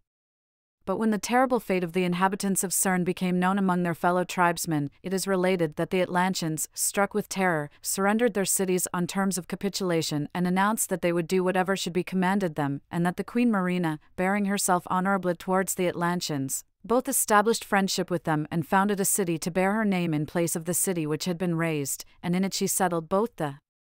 captives and any native who so desired whereupon the Atlanteans presented her with magnificent presents and by public decree voted to her notable honors, and she in return accepted their courtesy and in addition promised that she would show kindness to their nation. And since the natives were often being warred upon by the Gorgons, as they were named, a folk which resided upon their borders, and in general had that people lying in wait to injure them, Myrina, they say, was asked by the Atlanteans to invade the land of the aforementioned Gorgons. But when the Gorgons drew up their forces to resist them, a mighty battle took place in which the Amazons, gaining the upper hand, slew great numbers of their opponents and took no fewer than 3,000 prisoners. And since the rest had fled for refuge into a certain wooded region, Myrina undertook to set fire to the timber, being eager to destroy the race utterly. But when she found that she was unable to succeed in her attempt, she retired to the borders of her country. Now, as the Amazons, they go on to say, relax their watch during the night because of their success, the captive women, falling upon them and drawing the swords of those who thought they were conquerors, slew many of them. In the end, however, the multitude poured in about them from every side, and the prisoners fighting bravely were butchered one and all. Myrina accorded a funeral to her fallen comrades on three pyres and raised up three great heaps of earth as tombs, which are called to this day Amazon mounds. But the Gorgons, grown strong again in later days, were subdued a second time by Perseus, the son of Zeus, when Medusa was queen over them, and in the end both they and the race of the Amazons were entirely destroyed by Heracles when he visited the regions to the west and set up his pillars in Libya since he felt that it would ill accord with his resolve to be the benefactor of the whole race of mankind if he should suffer any nations to be under the rule of women. The story is also told that the marsh disappeared from sight in the course of an earthquake when those parts of it which lay towards the ocean were torn asunder. As for Myrina, the account continues she visited the larger part of Libya, and passing over into Egypt, she struck a treaty of friendship with Horus, the son of Isis, who was king of Egypt at that time, and then, after making war to the end upon the Arabians and slaying many of them, she subdued Syria. But when the Cilicians came out with presents to meet her and agreed to obey her commands, she left those free who yielded to her of their free will, and for this reason these are called to this day the free Cilicians. She also conquered and wore the races in the region of the Taurus, peoples of outstanding courage, and descended through Greater Phrygia to the sea, and then she won over the land lying along the coast and fixed the bounds of her campaign at the Caicus River and selecting in the territory which she had won by armed sites well suited for the founding of cities, she built a considerable number of them and founded one which bore her own name, but the others she named after the women who held the most important commands, such as Cyme, Pitana, and Priene. These, then, are the cities she settled along the sea, but others, and a larger number, she planted in the regions stretching towards the interior. She seized also some of the islands, and Lesbos in particular, on which she founded the city of Mytilene, which was named after her sister who took part in the campaign. After that, while subduing some of the rest of the islands, she was caught in a storm, and after she had offered up prayers for her safety to the Mother of the Gods, she was carried to one of the uninhabited islands. This island, in obedience to a vision which she beheld in her dreams, she made sacred to this goddess, and set up altars there and offered magnificent sacrifices. She also gave it the name of Samothrace, which means, when translated into Greek, sacred island, although some historians say that it was formerly called Samos and was then given the name of Samothrace by Thracians who at one time dwelt on it. However, after the Amazons had returned to the continent, the myth relates, the mother of the gods, well pleased with the island, settled in it certain other people, and also her own sons, who are known by the name of Corybantes, who their father was as handed down in their rites as a manner not to be divulged. And she established the mysteries which are now celebrated on the island and ordained by law that the sacred area should enjoy the right of sanctuary.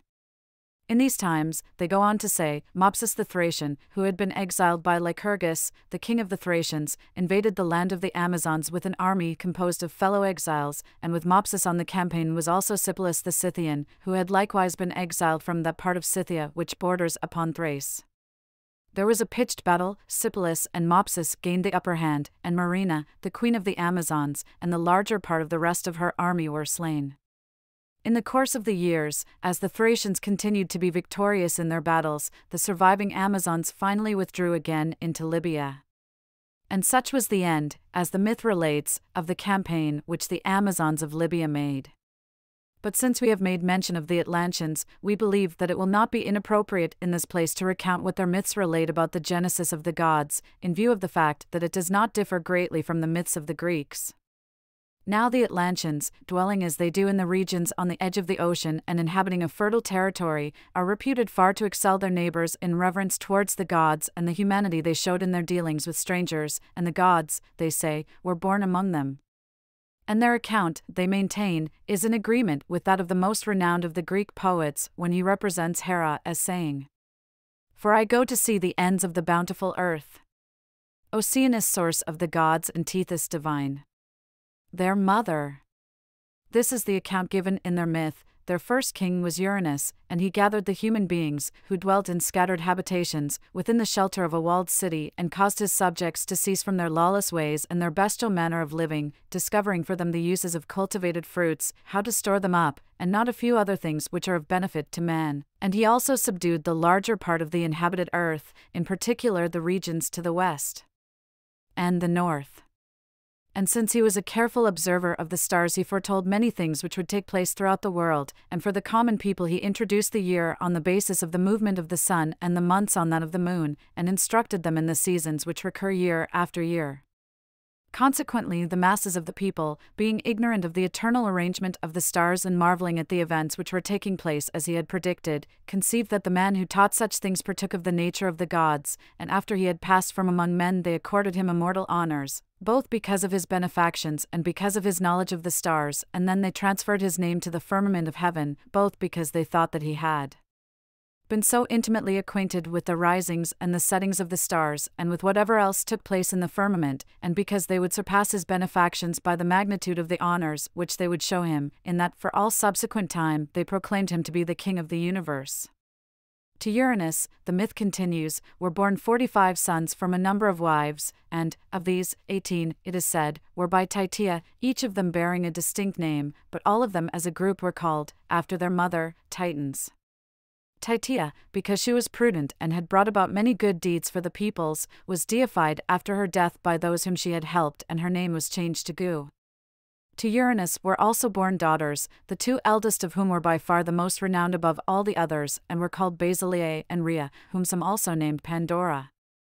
Of these daughters, Basileia, who was the eldest and far excelled the others in both prudence and understanding, reared all her brothers, showing them collectively a mother's kindness. Consequently, she was given the appellation of Great Mother, and after her father had been translated from among men into the circle of the gods, with the approval of the masses and of her brother, she succeeded to the royal dignity, though she was still a maiden, and because of her exceedingly great chastity had been unwilling to unite in marriage with any man. But later, because of her desire to leave sons who should succeed to the throne, she united in marriage with Hyperion, one of her brothers, for whom she had the greatest affection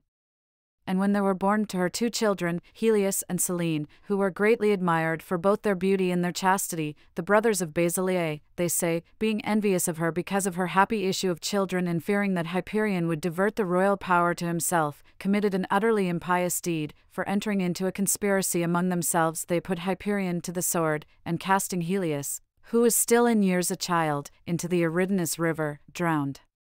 him.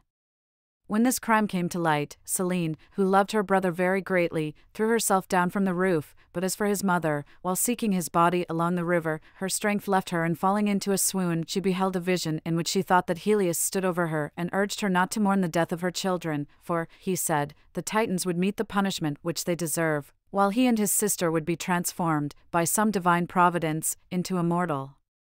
natures, since that which had formerly been called the holy fire in the heavens would be called by men Helios, the sun, and that addressed as mene would be called Selene, the moon. When she was aroused from the swoon, she recounted to the common crowd both the dream and the misfortunes which had befallen her, asking that they render to the dead honors like those accorded to the gods, and asserting that no man should thereafter touch her body and after this she became frenzied, and seizing such of her daughter's playthings as could make a noise, she began to wander over the land, with her hair hanging free, inspired by the noise of the kettle drums and cymbals, so that those who saw her were struck with astonishment and all men were filled with pity at her misfortune, and some were clinging to her body, when there came a mighty storm and continuous crashes of thunder and lightning, and in the midst of this Basileia passed from sight, whereupon the crowds of people, amazed at this reversal of fortune, transferred the names and the honors of Helios and Selene to the stars of the sky, and as for their mother, they considered her to be a goddess and erected altars to her, and imitating the incidents of her life by the pounding of the kettle drums and the clash of the cymbals they rendered unto her in this way sacrifices and all other honors. However, an account is handed down also that this goddess was born in Phrygia. For the natives of that country have the following myth In ancient times, Meion became king of Phrygia and Lydia, and marrying Dindyme, he begot an infant daughter, but being unwilling to rear her, he exposed her on the mountain which was called Cybelus. There, in accordance with some divine providence, both the leopards and some of the other especially ferocious wild beasts offered their nipples to the child and so gave it nourishment, and some women who were tending the flocks in that place witnessed the happening, and being astonished at the strange event, took up the babe and called her Cybele after the name of the place. The child, as she grew up, excelled in both beauty and virtue, and also came to be admired for her intelligence, for she was the first to devise the pipe of many reeds and to invent cymbals and kettle drums with which to accompany the games and the dance, and in addition she taught how to heal the sicknesses of both flocks and little children by means of rites of purification. In consequence, since the babes were saved from death by her spells, and were generally taken up in her arms, her devotion to them and affection for them led all the people to speak of her as the mother of the mountain. The man who associated with her and loved her more than anyone else, they say, was Marsyas the physician, who was admired for his intelligence and chastity, and a proof of his intelligence they find in the fact that he imitated the sounds made by the pipe of many reeds and carried all its notes over into the flute, and as an indication of his chastity they cite his abstinence from sexual pleasures until the day of his death. Now Cybele, the myth records, having arrived at full womanhood, came to love a certain native youth who was known as Attis, but at a later time received the appellation Papas. With him she consorted secretly and became with child, and at about the same time her parents recognized her as their child. Consequently, she was brought up into the palace, and her father welcomed her at the outset under the impression that she was a virgin, but later, when he learned of her seduction, he put to death her nurses and Attis as well, and cast their bodies forth to lie unburied, whereupon Cybele, they say, because of her love for the youth and grief over the nurses, became frenzied and rushed out of the palace into the countryside and crying aloud and beating upon a kettle drum, she visited every country alone, with hair hanging free, and Marsyas, out of pity for her plight, voluntarily followed her and accompanied her in her wanderings because of the love which he had formerly borne her. When they came to Dionysus in the city of Nysa, they found there Apollo, who was being accorded high favor because of the lyre, which, they say, Hermes invented, though Apollo was the first to play it fittingly. And when Marsyas strove with Apollo in a contest of skill, and the Nysaeans had been appointed judges, the first time Apollo played upon the lyre without accompanying it with his voice, while Marsyas, striking up upon his pipes, amazed the ears of his hearers by their strange music and in their opinion, far excelled, by reason of his melody, the first contestant. But since they had agreed to take turnabout in displaying their skill to the judges, Apollo, they say, added, this second time, his voice in harmony with the music of the lyre, whereby he gained greater approval than that which had formerly been accorded to the pipes. Marsyas, however, was enraged and tried to prove to the hearers that he was losing the contest in defiance of every principle of justice, for, he argued, it should be a comparison of skill and not of voice, and only by such a test was it possible to judge between the harmony and music of the lyre and of the pipes, and furthermore, it was unjust that two skills should be compared in combination against but one. Apollo, however, as the myth relates, replied that he was in no sense taking any unfair advantage of the other. In fact, when Marsyas blew into his pipes, he was doing almost the same thing as himself. Consequently, the rule should be made either that they should both be accorded this equal privilege of combining their skills, or that neither of them should use his mouth in the contest, but should display his special skill by the use only of his hands. When the hearers decided that Apollo presented the more just argument, their skills were again compared. Marsyas was defeated, and Apollo, who had become somewhat embittered by the quarrel, flayed the defeated man alive. But quickly repenting and being distressed at what he had done, he broke the strings of the lyre and destroyed the harmony of sounds which he had discovered. The harmony of the strings, however, was rediscovered when the Muses added later the middle string, Linus the string struck with the forefinger, and Orpheus and Thamyras the lowest string and the one next to it. And Apollo, they say, laid away both the lyre and the pipes as a votive offering in the cave of Dionysus, and becoming enamored of Cybele joined in her wanderings as far as the land of the Hyperboreans. But, the myth goes on to say, a pestilence fell upon human beings throughout Phrygia, and the land ceased to bear fruit. And when the unfortunate people inquired of the god how they might rid themselves of their ills, he commanded them, it is said, to bury the body of Attis and to honor Cybele as a goddess. Consequently, the physicians, since the body had disappeared in the course of time, made an image of the youth, before which they sang dirges, and by means of honors in keeping with his suffering propitiated the wrath of him who had been wronged, and these rites they continued to perform down to our own lifetime. As for Cybele, in ancient times they erected altars and performed sacrifices to her yearly, and later they built for her a costly temple in Pessinus of Phrygia, and established honors and sacrifices of the greatest magnificence, Midas their king taking part in all these works out of his devotion to beauty, and beside the statue of the goddess they set up panthers and lions, since it was the common opinion that she had first been nursed by these animals. Such, then, are the myths which are told about Mother of the Gods both among the Phrygians and by the Atlanteans who dwell on the coast of the ocean. After the death of Hyperion, the myth relates, the kingdom was divided among the sons of Uranus, the most renowned of whom were Atlas and Cronus. Of these sons, Atlas received as his part the regions on the coast of the ocean, and he not only gave the name of Atlanteans to his peoples, but likewise called the greatest mountain in the land Atlas. They also say that he perfected the science of astrology and was the first to publish to mankind the doctrine of the sphere, and it was for this reason that the idea was held that the entire heavens were supported upon the shoulders of Atlas, the myth darkly hinting in this way at his discovery and description of the sphere. There were born to him a number of sons, one of whom was distinguished above the others for his piety, justice to his subjects, and love of mankind, his name being Hesperus. This king, having once climbed to the peak of Mount Atlas, was suddenly snatched away by mighty winds while he was making his observations of the stars, and never was seen again, and because of the virtuous life he had lived and their pity for his sad fate, the multitudes accorded to him immortal honors and called the brightest of the stars of heaven after him. Atlas, the myth goes on to relate, also had seven daughters, who as a group were called Atlantides after their father, but their individual names were Maia, Electra, Taygete, Sterope, Merope, Halcyone, and the last Celaeno. These daughters lay with the most renowned heroes and gods, and thus became the first ancestors of the larger part of the race of human beings, giving birth to those who, because of their high achievements, came to be called gods and heroes. Maia the eldest, for instance, lay with Zeus and bore Hermes, who was the discoverer of many things for the use of mankind. Similarly, the other Atlantides also gave birth to renowned children, who became the founders in some instances of nations in other cases of cities. Consequently, not only among certain barbarians, but among the Greeks as well, the great majority of the most ancient heroes trace their descent back to the Atlantides. These daughters were also distinguished for their chastity and after their death attained to immortal honor among men, by whom they were both enthroned in the heavens and endowed with the appellation of Pleiades. The Atlantides were also called nymphs because the natives of that land addressed their women by the common appellation of nymph.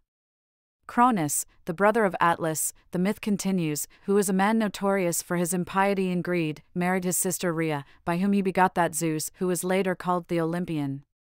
But there had been also another Zeus, the brother of Uranus and a king of Crete, who, however, was far less famous than the Zeus who was born at a later time. Now the latter was king over the entire world, whereas the earlier Zeus, who was lord of the above mentioned island, begot ten sons who were given the name of Curetes, and the island he named after his wife Idaea, and on it he died and was buried, and the place which received his grave is pointed out to our day. The Cretans, however, have a myth which does not agree with the story given above, and we shall give a detailed account of it when we speak of Crete. Cronus, they say, was lord of Sicily and Libya, and Italy as well, and, in a word, established his kingdom over the regions to the west, and everywhere he occupied with garrisons the commanding hills and the strongholds of the regions, this being the reason why both throughout Sicily and the parts which incline towards the west many of the lofty places are called to this day after him Cronia. Zeus, however, the son of Cronus, emulated a manner of life the opposite of that led by his father, and since he showed himself honorable and friendly to all, the masses addressed him as father. As for his succession to the kingly power, some say that his father yielded it to him of his own accord, but others state that he was chosen as king by the masses because of the hatred they bore towards his father, and that when Cronus made war against him with the aid of the Titans, Zeus overcame him in battle, and on gaining supreme power visited all the inhabited world, conferring benefactions upon the race of men. He was preeminent also in bodily strength and in all the other qualities of virtue, and for this reason quickly became master of the entire world and in general he showed all zeal to punish impious and wicked men and to show kindness to the masses. In return for all this, after he had passed from among men, he was given the name of Zen, because he was the cause of right living among men, and those who had received his favors showed him honor by enthroning him in the heavens, all men eagerly acclaiming him as God and Lord forever of the whole universe. These, then, are in summary the facts regarding the teachings of the Atlanteans about the gods, but since we have previously made mention, in connection with our discussion of Egypt, of the birth of Dionysus and of his deeds as they are preserved in the local histories of that country, we are of the opinion that it is appropriate in this place to add the myths about this god which are current among the Greeks. But since the early composers of myths and the early poets who have written about Dionysus do not agree with one another and have committed to writing many monstrous tales, it is a difficult undertaking to give a clear account of the birth and deeds of this god. For some have handed down the story that there was but one Dionysus, others that there were three, and there are those who state that there was never any birth of him in human form whatsoever, and think that the word Dionysus means only the gift of wine, oinodosis. For this reason, we shall endeavor to run over briefly only the main facts as they are given by each writer. Those authors, then, who use the phenomena of nature to explain this God and call the fruit of the vine Dionysus speak like this The earth brought forth of itself the vine at the same time with the other plants, and it was not originally planted by some man who discovered it. And they allege as proof of this fact that to this day vines grow wild in many regions and bear fruit quite similar to that of plants which are tended by the experienced hand of man. Furthermore, the early men have given Dionysus the name of Dimetor, reckoning it as a single and first birth when the plant is set in the ground and begins to grow, and as a second birth when it becomes laden with fruit and ripens its clusters, the god, therefore, being considered as having been born once from the earth and again from the vine and though the writers of myths have handed down the account of a third birth as well, at which, as they say, the sons of Gaia tore to pieces the god, who was a son of Zeus and Demeter, and boiled him, but his members were brought together again by Demeter, and he experienced a new birth as if for the first time, such accounts as this they trace back to certain causes found in nature for he is considered to be the son of Zeus and Demeter, they hold, by reason of the fact that the vine gets its growth both from the earth and from rains, and so bears as its fruit the wine which is pressed up from the clusters of grapes, and the statement that he was torn to pieces, while yet a youth, by the earthborn signifies the harvesting of the fruit by the laborers, and the boiling of his members has been worked into a myth by reason of the fact that most men boil the wine and then mix it, thereby improving its natural aroma and quality. Again, the account of his members, which the earthborn treated with despite, being brought together again and restored to their former natural state, shows forth that the vine, which has been stripped of its fruit and pruned at the yearly seasons, is restored by the earth to the high level of fruitfulness which it had before. For, in general, the ancient poets and writers of myths spoke of Demeter as Gameter, Earth Mother and with these stories the teachings agree which are set forth in the Orphic poems and are introduced into their rites, but it is not lawful to recount them in detail to the uninitiated. In the same manner, the account that Dionysus was born of Semele they trace back to natural beginnings, offering the explanation that Thyone was the name which the ancients gave to the earth, and that this goddess received the appellation Semele because the worship and honor paid to her was dignified, Semni, and she was called Thyone because of the sacrifices, thysiai, and burnt offerings, thyelai, which were offered, Thuamini, to her. Furthermore, the tradition that Dionysus was born twice of Zeus arises from the belief that these fruits also perished in common with all other plants in the flood at the time of Deucalion, and that when they sprang up again after the deluge it was as if there had been a second epiphany of the god among men, and so the myth was created that the god had been born again from the thigh of Zeus. However, this may be, those who explain the name Dionysus as signifying the use and importance of the discovery of wine recount such a myth regarding him. Those mythographers, however, who represent the god as having a human form ascribed to him, with one accord, the discovery and cultivation of the vine and all the operations of the making of wine, although they disagree on whether there was a single Dionysus or several. Some, for instance, who assert that he who taught how to make wine and to gather the fruits of the trees, as they are called, he who led an army over all the inhabited world, and he who introduced the mysteries and rites and Bacchic revelries were one and the same person, but there are others, as I have said, who conceive that there were three persons, at separate periods, and to each of these they ascribe deeds which were peculiarly his own. This, then, is their account. The most ancient Dionysus was an Indian, and since his country, because of the excellent climate, produced the vine in abundance without cultivation, he was the first to press out the clusters of grapes and to devise the use of wine as a natural product, likewise to give the proper care to the figs and other fruits which grow upon trees, and, speaking generally, to devise whatever pertains to the harvesting and storing of these fruits. The same Dionysus is, furthermore, said to have worn a long beard, the reason for the report being that it is the custom among the Indians to give great care, until their death, to the raising of a beard. Now this Dionysus visited with an army all the inhabited world and gave instruction both as to the culture of the vine and the crushing of the clusters in the wine vats, Lenoi, which is the reason why the god was named Lenaeus. Likewise, he allowed all people to share in his other discoveries, and when he passed from among men, he received immortal honor at the hands of those who had received his benefactions. Furthermore, there are pointed out among the Indians even to this day the place where it came to pass that the god was born, as well as cities which bear his name in the language of the natives, and many other notable testimonials to his birth among the Indians still survive, but it would be a long task to write of them. The second Dionysus, the writers of myths relate, was born to Zeus by Persephone, though some say it was Demeter. He is represented by them as the first man to have yoked oxen to the plough, human beings, before that time, having prepared the ground by hand. Many other things also, which are useful for agriculture, were skilfully devised by him, whereby the masses were relieved of their great distress, and in return for this those whom he had benefited accorded to him honors and sacrifices like those offered to the gods, since all men were eager, because of the magnitude of his service to them, to accord to him immortality and as a special symbol and token the painters and sculptors represented him with horns, at the same time making manifest thereby the other nature of Dionysus and also showing forth the magnitude of the service which he had devised for the farmers by his invention of the plough. The third Dionysus, they say, was born in Boeotian Thebes of Zeus and Semele, the daughter of Cadmus. The myth runs as follows Zeus had become enamored of Semele and often, lured by her beauty, had consorted with her, but Hera, being jealous and anxious to punish the girl, assumed the form of one of the women who was an intimate of Semele's and led her on to her ruin, for she suggested to her that Zeus should lie with her while having the same majesty and honor in his outward appearance as when he took Hera to his arms. Consequently, Zeus, at the request of Semele that she be shown the same honors as Hera, appeared to her accompanied by thunder and lightning, but Semele, unable to endure the majesty of his grandeur, died and brought forth the babe before the appointed time. This babe Zeus quickly took and hid in his thigh, and afterwards, when the period which nature prescribed for the child's birth had completed its growth, he brought it to Nysa in Arabia. There the boy was reared by nymphs and was given the name Dionysus after his father, Dios, and after the place, Nysa, and since he grew to be of unusual beauty, he at first spent his time at dances and with bands of women and in every kind of luxury and amusement, and after that, forming the women into an army and arming them with thyrsi, he made a campaign over all the inhabited world.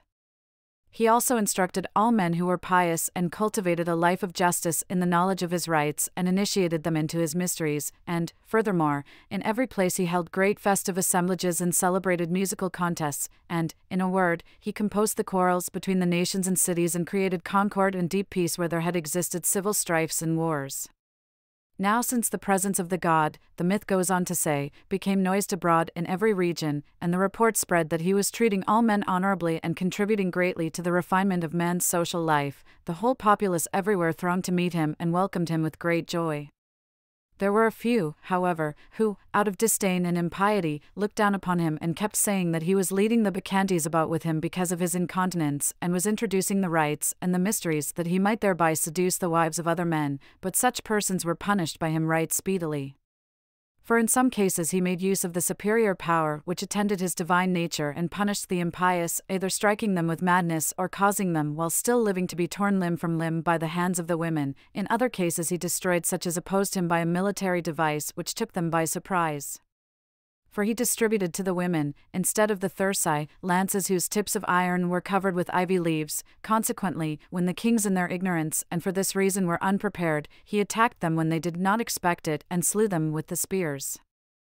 Among those who were punished by him, the most renowned, they say, were Pentheus among the Greeks, Myrrhanus the king of the Indians, and Lycurgus among the Thracians. For the myth relates that when Dionysus was on the point of leading his force over from Asia into Europe, he concluded a treaty of friendship with Lycurgus, who was king of that part of Thrace which lies upon the Hellespont.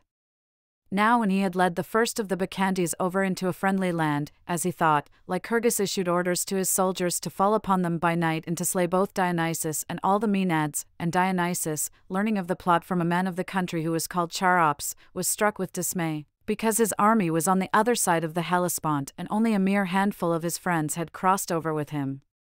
Consequently, he sailed across secretly to his army, and then Lycurgus, they say, falling upon the Maenads in the city known as Nysium, slew them all. But Dionysus, bringing his forces over, conquered the Thracians in a battle, and taking Lycurgus alive, put out his eyes and inflicted upon him every kind of outrage, and then crucified him.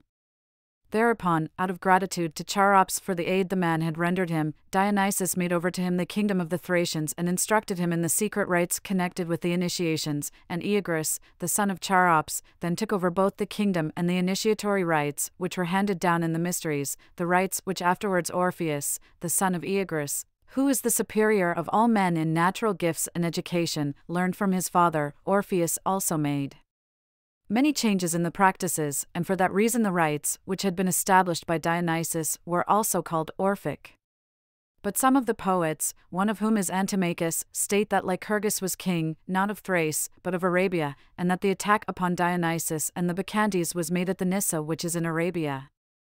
However, this may be, Dionysus, they say, punished the impious, but treated all other men honorably, and then made his return journey from India to Thebes upon an elephant. The entire time consumed in the journey was three years, and it is for this reason, they say, that the Greeks hold his festival every other year. Uh, the myth also relates that he gathered a great mass of booty, such as would result from such a campaign, and that he was the first of all men to make his return to his native country in a triumph. Now, these accounts of the birth of Dionysus are generally agreed upon by the ancient writers, but rival claims are raised by not a few Greek cities to having been the place of his birth the peoples of Elis and Naxos, for instance, and the inhabitants of Eleutheræ and Teos and several other peoples, state that he was born in their cities. The Teans advance as proof that the god was born among them the fact that, even to this day, at fixed times in their city a fountain of wine, of unusually sweet fragrance, flows of its own accord from the earth, and as for the peoples of the other cities, they in some cases point out a plot of land which is sacred to Dionysus, in other cases shrines and sacred precincts which have been consecrated to him from ancient times. But, speaking generally, since the god has left behind him in many places over the inhabited world evidences of his personal favor and presence, it is not surprising that in each case the people should think that Dionysus had had a peculiar relationship to both their city and country. And testimony to our opinion is also offered by the poet in his hymns, when he speaks of those who lay claim to the birthplace of Dionysus and, in that connection, represents him as being born in the Nyssa which is in Arabia. Some Dracanum, wind-swept Icarus some. Some Naxos, Zeus-born one, or Alpheus stream. Deep eddied, call the spot where Semele. bore thee, Eiraphiotes, unto Zeus. Who takes delight in thunder, others still. Would place thy birth, O Lord, in Thebes. Tis false. The sire of men and gods brought thee to light. Unknown to white armed Hera, far from men. There is a certain Nysa, mountain high. With forests thick, in Phoenice afar. Close to Aegyptus streams. I am not unaware that also those inhabitants of Libya who dwell on the shore of the ocean lay claim to the birthplace of the god, and point out that Nysa and all the stories which the myths record are found among themselves, and many witnesses to this statement, they say, remain in the land down to our own lifetime, and I also know that many of the ancient Greek writers of myths and poets, and not a few of the later historians as well, agree with this in their accounts. Consequently, in order not to omit anything which history records about Dionysus, we shall present in summary what is told by the Libyans and those Greek historians whose writings are in accord with these and with that Dionysius who composed an account out of the ancient fabulous tales. For this writer has composed an account of Dionysus and the Amazons, as well as of the Argonauts and the events connected with the Trojan War and many other matters, in which he cites the versions of the ancient writers, both the composers of myths and the poets. This, then, is the account of Dionysius. Among the Greeks, Linus was the first to discover the different rhythms and song, and when Cadmus brought from Phoenicia the letters, as they are called, Linus was again the first to transfer them into the Greek language, to give a name to each character, and to fix its shape. Now the letters, as a group, are called Phoenician because they were brought to the Greeks from the Phoenicians, but as single letters the Pelasgians were the first to make use of the transferred characters, and so they were called Pelasgic. Linus also, who is admired because of his poetry and singing, had many pupils and three of greatest renown Heracles, Thamyras, and Orpheus. Of these three, Heracles, who was learning to play the lyre, was unable to appreciate what was taught him because of his sluggishness of soul, and once when he had been punished with rods by Linus, he became violently angry and killed his teacher with a blow of the lyre. Thamyras, however, who possessed unusual natural ability, perfected the art of music and claimed that in the excellence of song his voice was more beautiful than the voices of the muses. Whereupon the goddesses, angered at him, took from him his gift of music and maimed the man, even as Homer also bears witness when he writes. There met the muses Thamyras of Thrace, and made an end of his song. And again. But him, enraged, they maimed, and from him took the gift of song divine and made him quite forget his harping. About Orpheus, the third pupil, we shall give a detailed account when we come to treat of his deeds. Now Linus, they say, composed an account in the Pelasgic letters of the deeds of the first Dionysus and of the other mythical legends, and left them among his memoirs and in the same manner use was made of these Pelasgic letters by Orpheus and Pronapides, who was the teacher of Homer and a gifted writer of songs, and also by Thymoetes, the son of Thymoetes, the son of Laomedon, who lived at the same time as Orpheus, wandered over many regions of the inhabited world, and penetrated to the western part of Libya as far as the ocean. He also visited Nysa, where the ancient natives of the city relate that Dionysus was reared there, degree, and, after he had learned from the Nysaeans of the deeds of this god one and all, he composed the Phrygian poem, as it is called, wherein he made use of the archaic manner both of speech and of letters. Dionysius, then, continues his account as follows Ammon, the king of that part of Libya, married a daughter of Uranus who was called Rhea and was a sister of Cronus and the other Titans. And once when Ammon was going about his kingdom, near the Ceraunian mountains, as they are called, he came upon a maiden of unusual beauty whose name was Amalthea.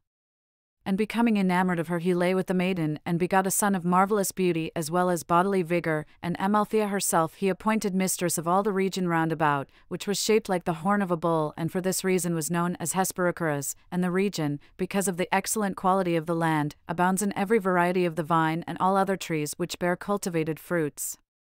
When the woman whom we have just mentioned took over the supreme power, the country was named after her Amaltheias Ceras, consequently, the men of later times, for the reason which we have just given, likewise call any especially fertile bit of ground which abounds in fruits of every kind Amalthea's horn. Now Ammon, fearing the jealousy of Rhea, concealed the affair and brought the boy secretly to a certain city called Nysa, which was at a great distance from those parts. This city lies on a certain island which is surrounded by the river Triton and is precipitous on all sides save at one place where there is a narrow pass which bears the name Nysaean Gates. The land of the island is rich, is traversed at intervals by pleasant meadows and watered by abundant streams from springs, and possesses every kind of fruit bearing tree and the wild vine in abundance, which for the most part grows up trees. The whole region, moreover, has a fresh and pure air and is furthermore exceedingly healthful, and for this reason its inhabitants are the longest lived of any in those parts. The entrance into the island is like a glen at its beginning, being thickly shaded by lofty trees growing close together, so that the sun never shines at all through the close set branches, but only the radiance of its light may be seen. Everywhere along the lanes, the account continues, springs of water gush forth of exceeding sweetness, making the place most pleasant to those who desire to tarry there. Further in there is a cave, circular in shape and of marvelous size and beauty for above and all about it rises a crag of immense height, formed of rocks of different colors, for the rocks lie in bands and send forth a bright gleam, some like that purple which comes from the sea, some bluish and others like every other kind of brilliant hue, the result being that there is not a color to be seen among men which is not visible in that place. Before the entrance grow marvelous trees, some fruit bearing, others evergreen, and all of them fashioned by nature for no other end than to delight the eye, and in them nest every kind of bird of pleasing color and most charming song.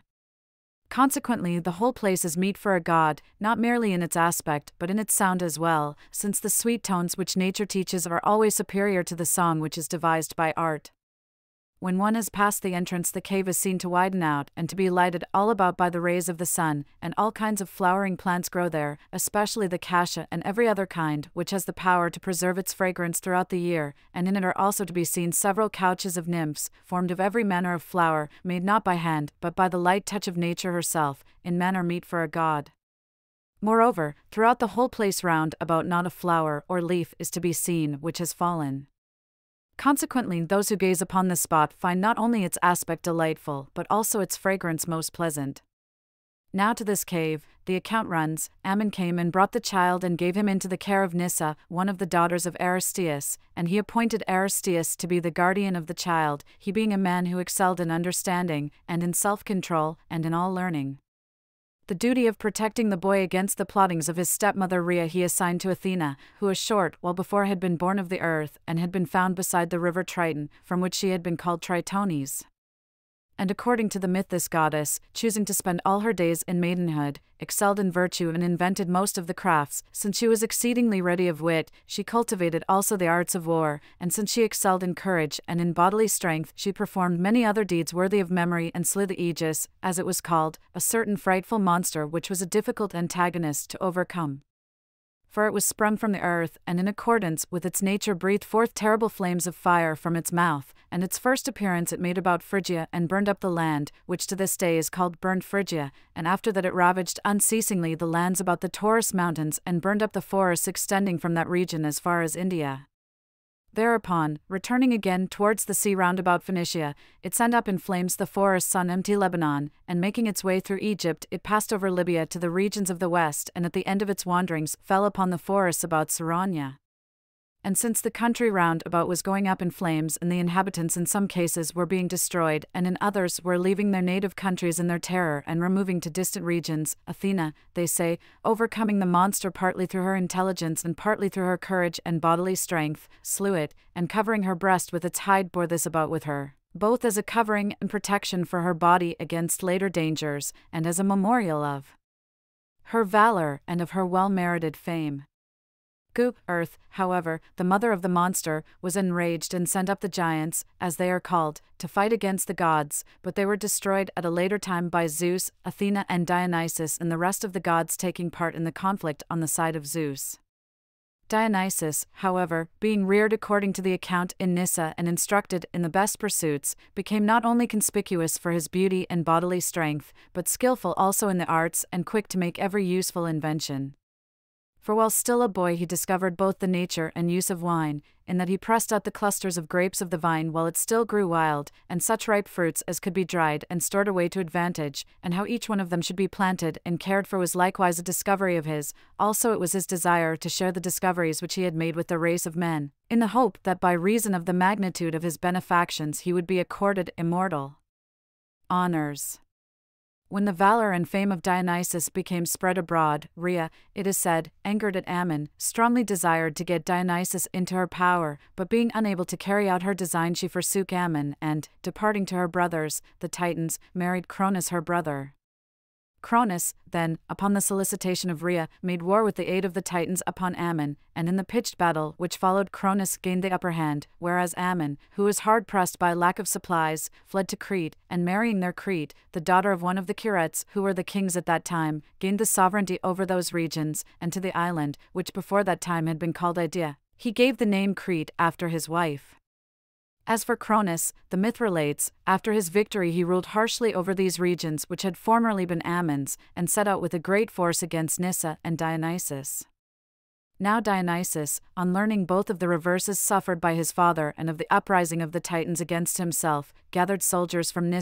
two hundred of whom were foster brothers of his, and were distinguished for their courage and their loyalty to him, and to these he added from neighboring peoples both the Libyans and the Amazons. Regarding the latter, of whom we have already observed be that it is reputed that they were distinguished for their courage and first of all campaigned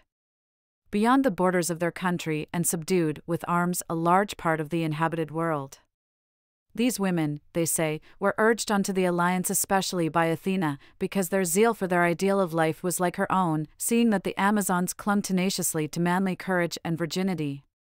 The force was divided into two parts, the men having Dionysus as their general and the women being under the command of Athena, and coming with their army upon the Titans they joined battle.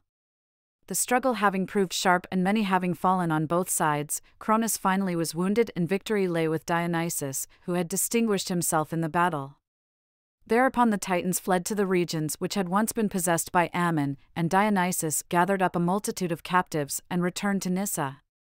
Here, drawing up his force and arms about the prisoners, he brought a formal accusation against the Titans and gave them every reason to suspect that he was going to execute the captives but when he got them free from the charges and allowed them to make their choice either to join him in his campaign or to go scot free, they all chose to join him, and because their lives had been spared, contrary to their expectation, they venerated him like a god. Dionysus, then, taking the captives singly and giving them a libation, spond, of wine, required of all of them an oath that they would join in the campaign without treachery and fight manfully until death, Consequently, these captives being the first to be designated as freed under a truce, hypospondoi, men of later times, imitating the ceremony which had been performed at that time, speak of the truces in wars as spondai. Now, when Dionysus was on the point of setting out against Cronus and his force was already passing out of Nysa, his guardian Aristeus, the myth relates, offered a sacrifice, and so was the first man to sacrifice to him as to a god and companions of his on the campaign, they say, were also the most nobly born of the Nysaeans, those, namely, who bear the name Sileni. For the first man of all, they say, to be king of Nysa was Silenus, but his ancestry was unknown to all men because of its antiquity. This man had a tail at the lower part of his back, and his descendants also regularly carried this distinguishing mark because of their participation in his nature. Dionysus, then, set out with his army, and after passing through a great extent of waterless land, no small portion of which was desert and infested with wild beasts, he encamped beside a city of Libya named Zabirna. Near the city, an earthborn monster called Campe, which was destroying many of the natives, was slain by him, whereby he won great fame among the natives for valor. Over the monster which he had killed, he also erected an enormous mound, wishing to leave behind him an immortal memorial of his personal bravery, and this mound remained until comparatively recent times. Then Dionysus advanced against the Titans, maintaining strict discipline on his journeyings, treating all the inhabitants kindly, and, in a word, making it clear that his campaign was for the purpose of punishing the impious and of conferring benefits upon the entire human race. The Libyans, admiring his strict discipline and high mindedness, provided his followers with supplies in abundance and joined in the campaign with the greatest eagerness. As the army approached the city of the Ammonians, Cronus, who had been defeated in a pitched battle before the walls, set fire to the city in the night, intending to destroy utterly the ancestral palace of Dionysus, and himself taking with him his wife Rhea and some of his friends who had aided him in the struggle, he stole unobserved out of the city. Dionysus, however, showed no such a temper as this, for though he took both Cronus and Rhea captive, not only did he waive the charges against them because of his kinship to them, but he entreated them for the future to maintain both the goodwill and the position of parents towards him and to live in a common home with him, held in honor above all others. Rhea, accordingly, loved him like a son for all the rest of her life, but the goodwill of Cronus was a pretense. And about this time there was born to both of these a son who was called Zeus, and he was honored greatly by Dionysus, and at a later time, because of his high achievements, was made king over all. Since the Libyans had said to Dionysus before the battle that, at the time when Ammon had been driven from the kingdom, he had prophesied to the inhabitants that at an appointed time his son Dionysus would come, and that he would recover his father's kingdom, and, after becoming master of all the inhabited world, would be looked upon as a god, Dionysus, believing him to have been a true prophet, established there the oracle of his father, rebuilt the city, and ordained honors to him as to a god. And appointed men to have charge of the oracle. Tradition also has recorded that the head of Ammon was shaped like that of a ram, since as his device he had worn a helmet of that form in his campaigns. But there are some writers of myths who recount that in very truth there were little horns on both sides of his temples, and that therefore Dionysus also, being Ammon's son, had the same aspect as his father, and so the tradition has been handed down to succeeding generations of mankind that this god had horns. However, this may be, after Dionysus had built the city and established the oracle, he first of all, they say, inquired of the god with regard to his expedition, and he received from his father the reply that, if he showed himself a benefactor of mankind, he would receive the reward of immortality. Consequently, elated in spirit at this prophecy, he first of all directed his campaign against Egypt, and as king of the country he set up Zeus, the son of Cronus and Rhea, though he was still but a boy in years and at his side as guardian he placed Olympus, by whom Zeus had been instructed and after whom he came to be called Olympian when he had attained preeminence in high achievements. As for Dionysus, he taught the Egyptians, it is said, both the cultivation of the vine and how to use and to store both wine and the fruits which are gathered from trees, as well as all others and since a good report of him was spread abroad everywhere, no man opposed him as if he were an enemy, but all rendered him eager obedience and honored him like a god with panegyrics and sacrifices.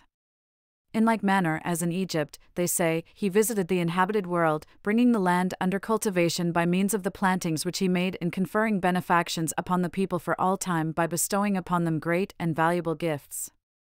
For this reason it comes about that, although not all men are of one belief with one another concerning the honors which they accord to the other gods, in the case of Dionysus alone we may almost say that they are in complete agreement in testifying to his immortality, for there is no man among Greeks or barbarians who does not share in the gift and favor which this god dispenses, nay, even those who possess a country which has become a wilderness or altogether unsuited to the cultivation of. The vine learned from him how to prepare from barley a drink which is little inferior to wine in aroma.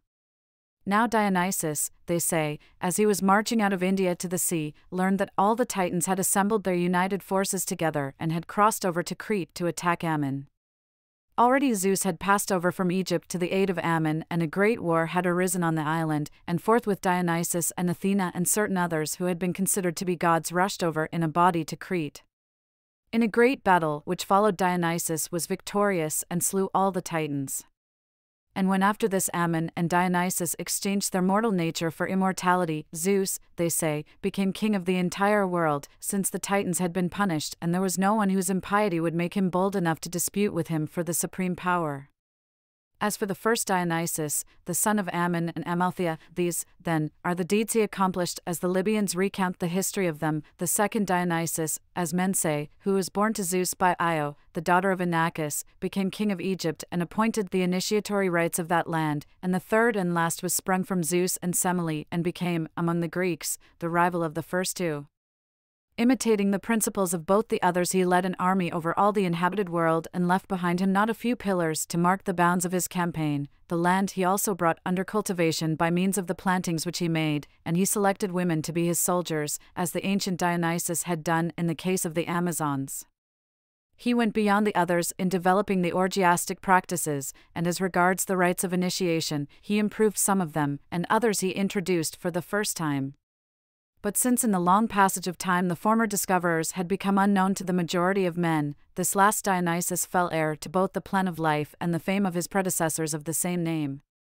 And this Dionysus is not the only one to whom has happened that which we have related, but in later times Heracles likewise experienced the same fortune. For there had been two persons of an earlier period who had borne the same name, the most ancient Heracles, who, according to the myths, had been born in Egypt, had subdued with arms a large part of the inhabited world, and had set up the pillar which is in Libya, and the second, who was one of the Idaean dactyls of Crete and a wizard with some knowledge of generalship, was the founder of the Olympic Games, but third and last, who was born of Alcmene and Zeus a short time before the Trojan War visited a large part of the inhabited world while he was serving Eurystheus and carrying out his commands. And after he had successfully completed all the labors, he also set up the pillar which is in Europe, but because he bore the same name as the other two and pursued the same plan of life as did they, in the course of time and upon his death he inherited the exploits of the more ancient persons of the name, as if there had been in all the previous ages but one Heracles. To support the view that there were several of the name Dionysus, the effort is made to cite, along with the other proofs, the battle waged against the Titans. For since all men agree that Dionysus fought on the side of Zeus in his war against the Titans, it will not do at all, they argue, to date the generations of the Titans in the time when Semele lived or to declare that Cadmus, the son of Agenor, was older than the gods of Olympus. Such, then, is the myth which the Libyans recount concerning Dionysus, but for our part, now that we have brought to an end the plan which we announced at the beginning, we shall close the third book at this point. End of Book 3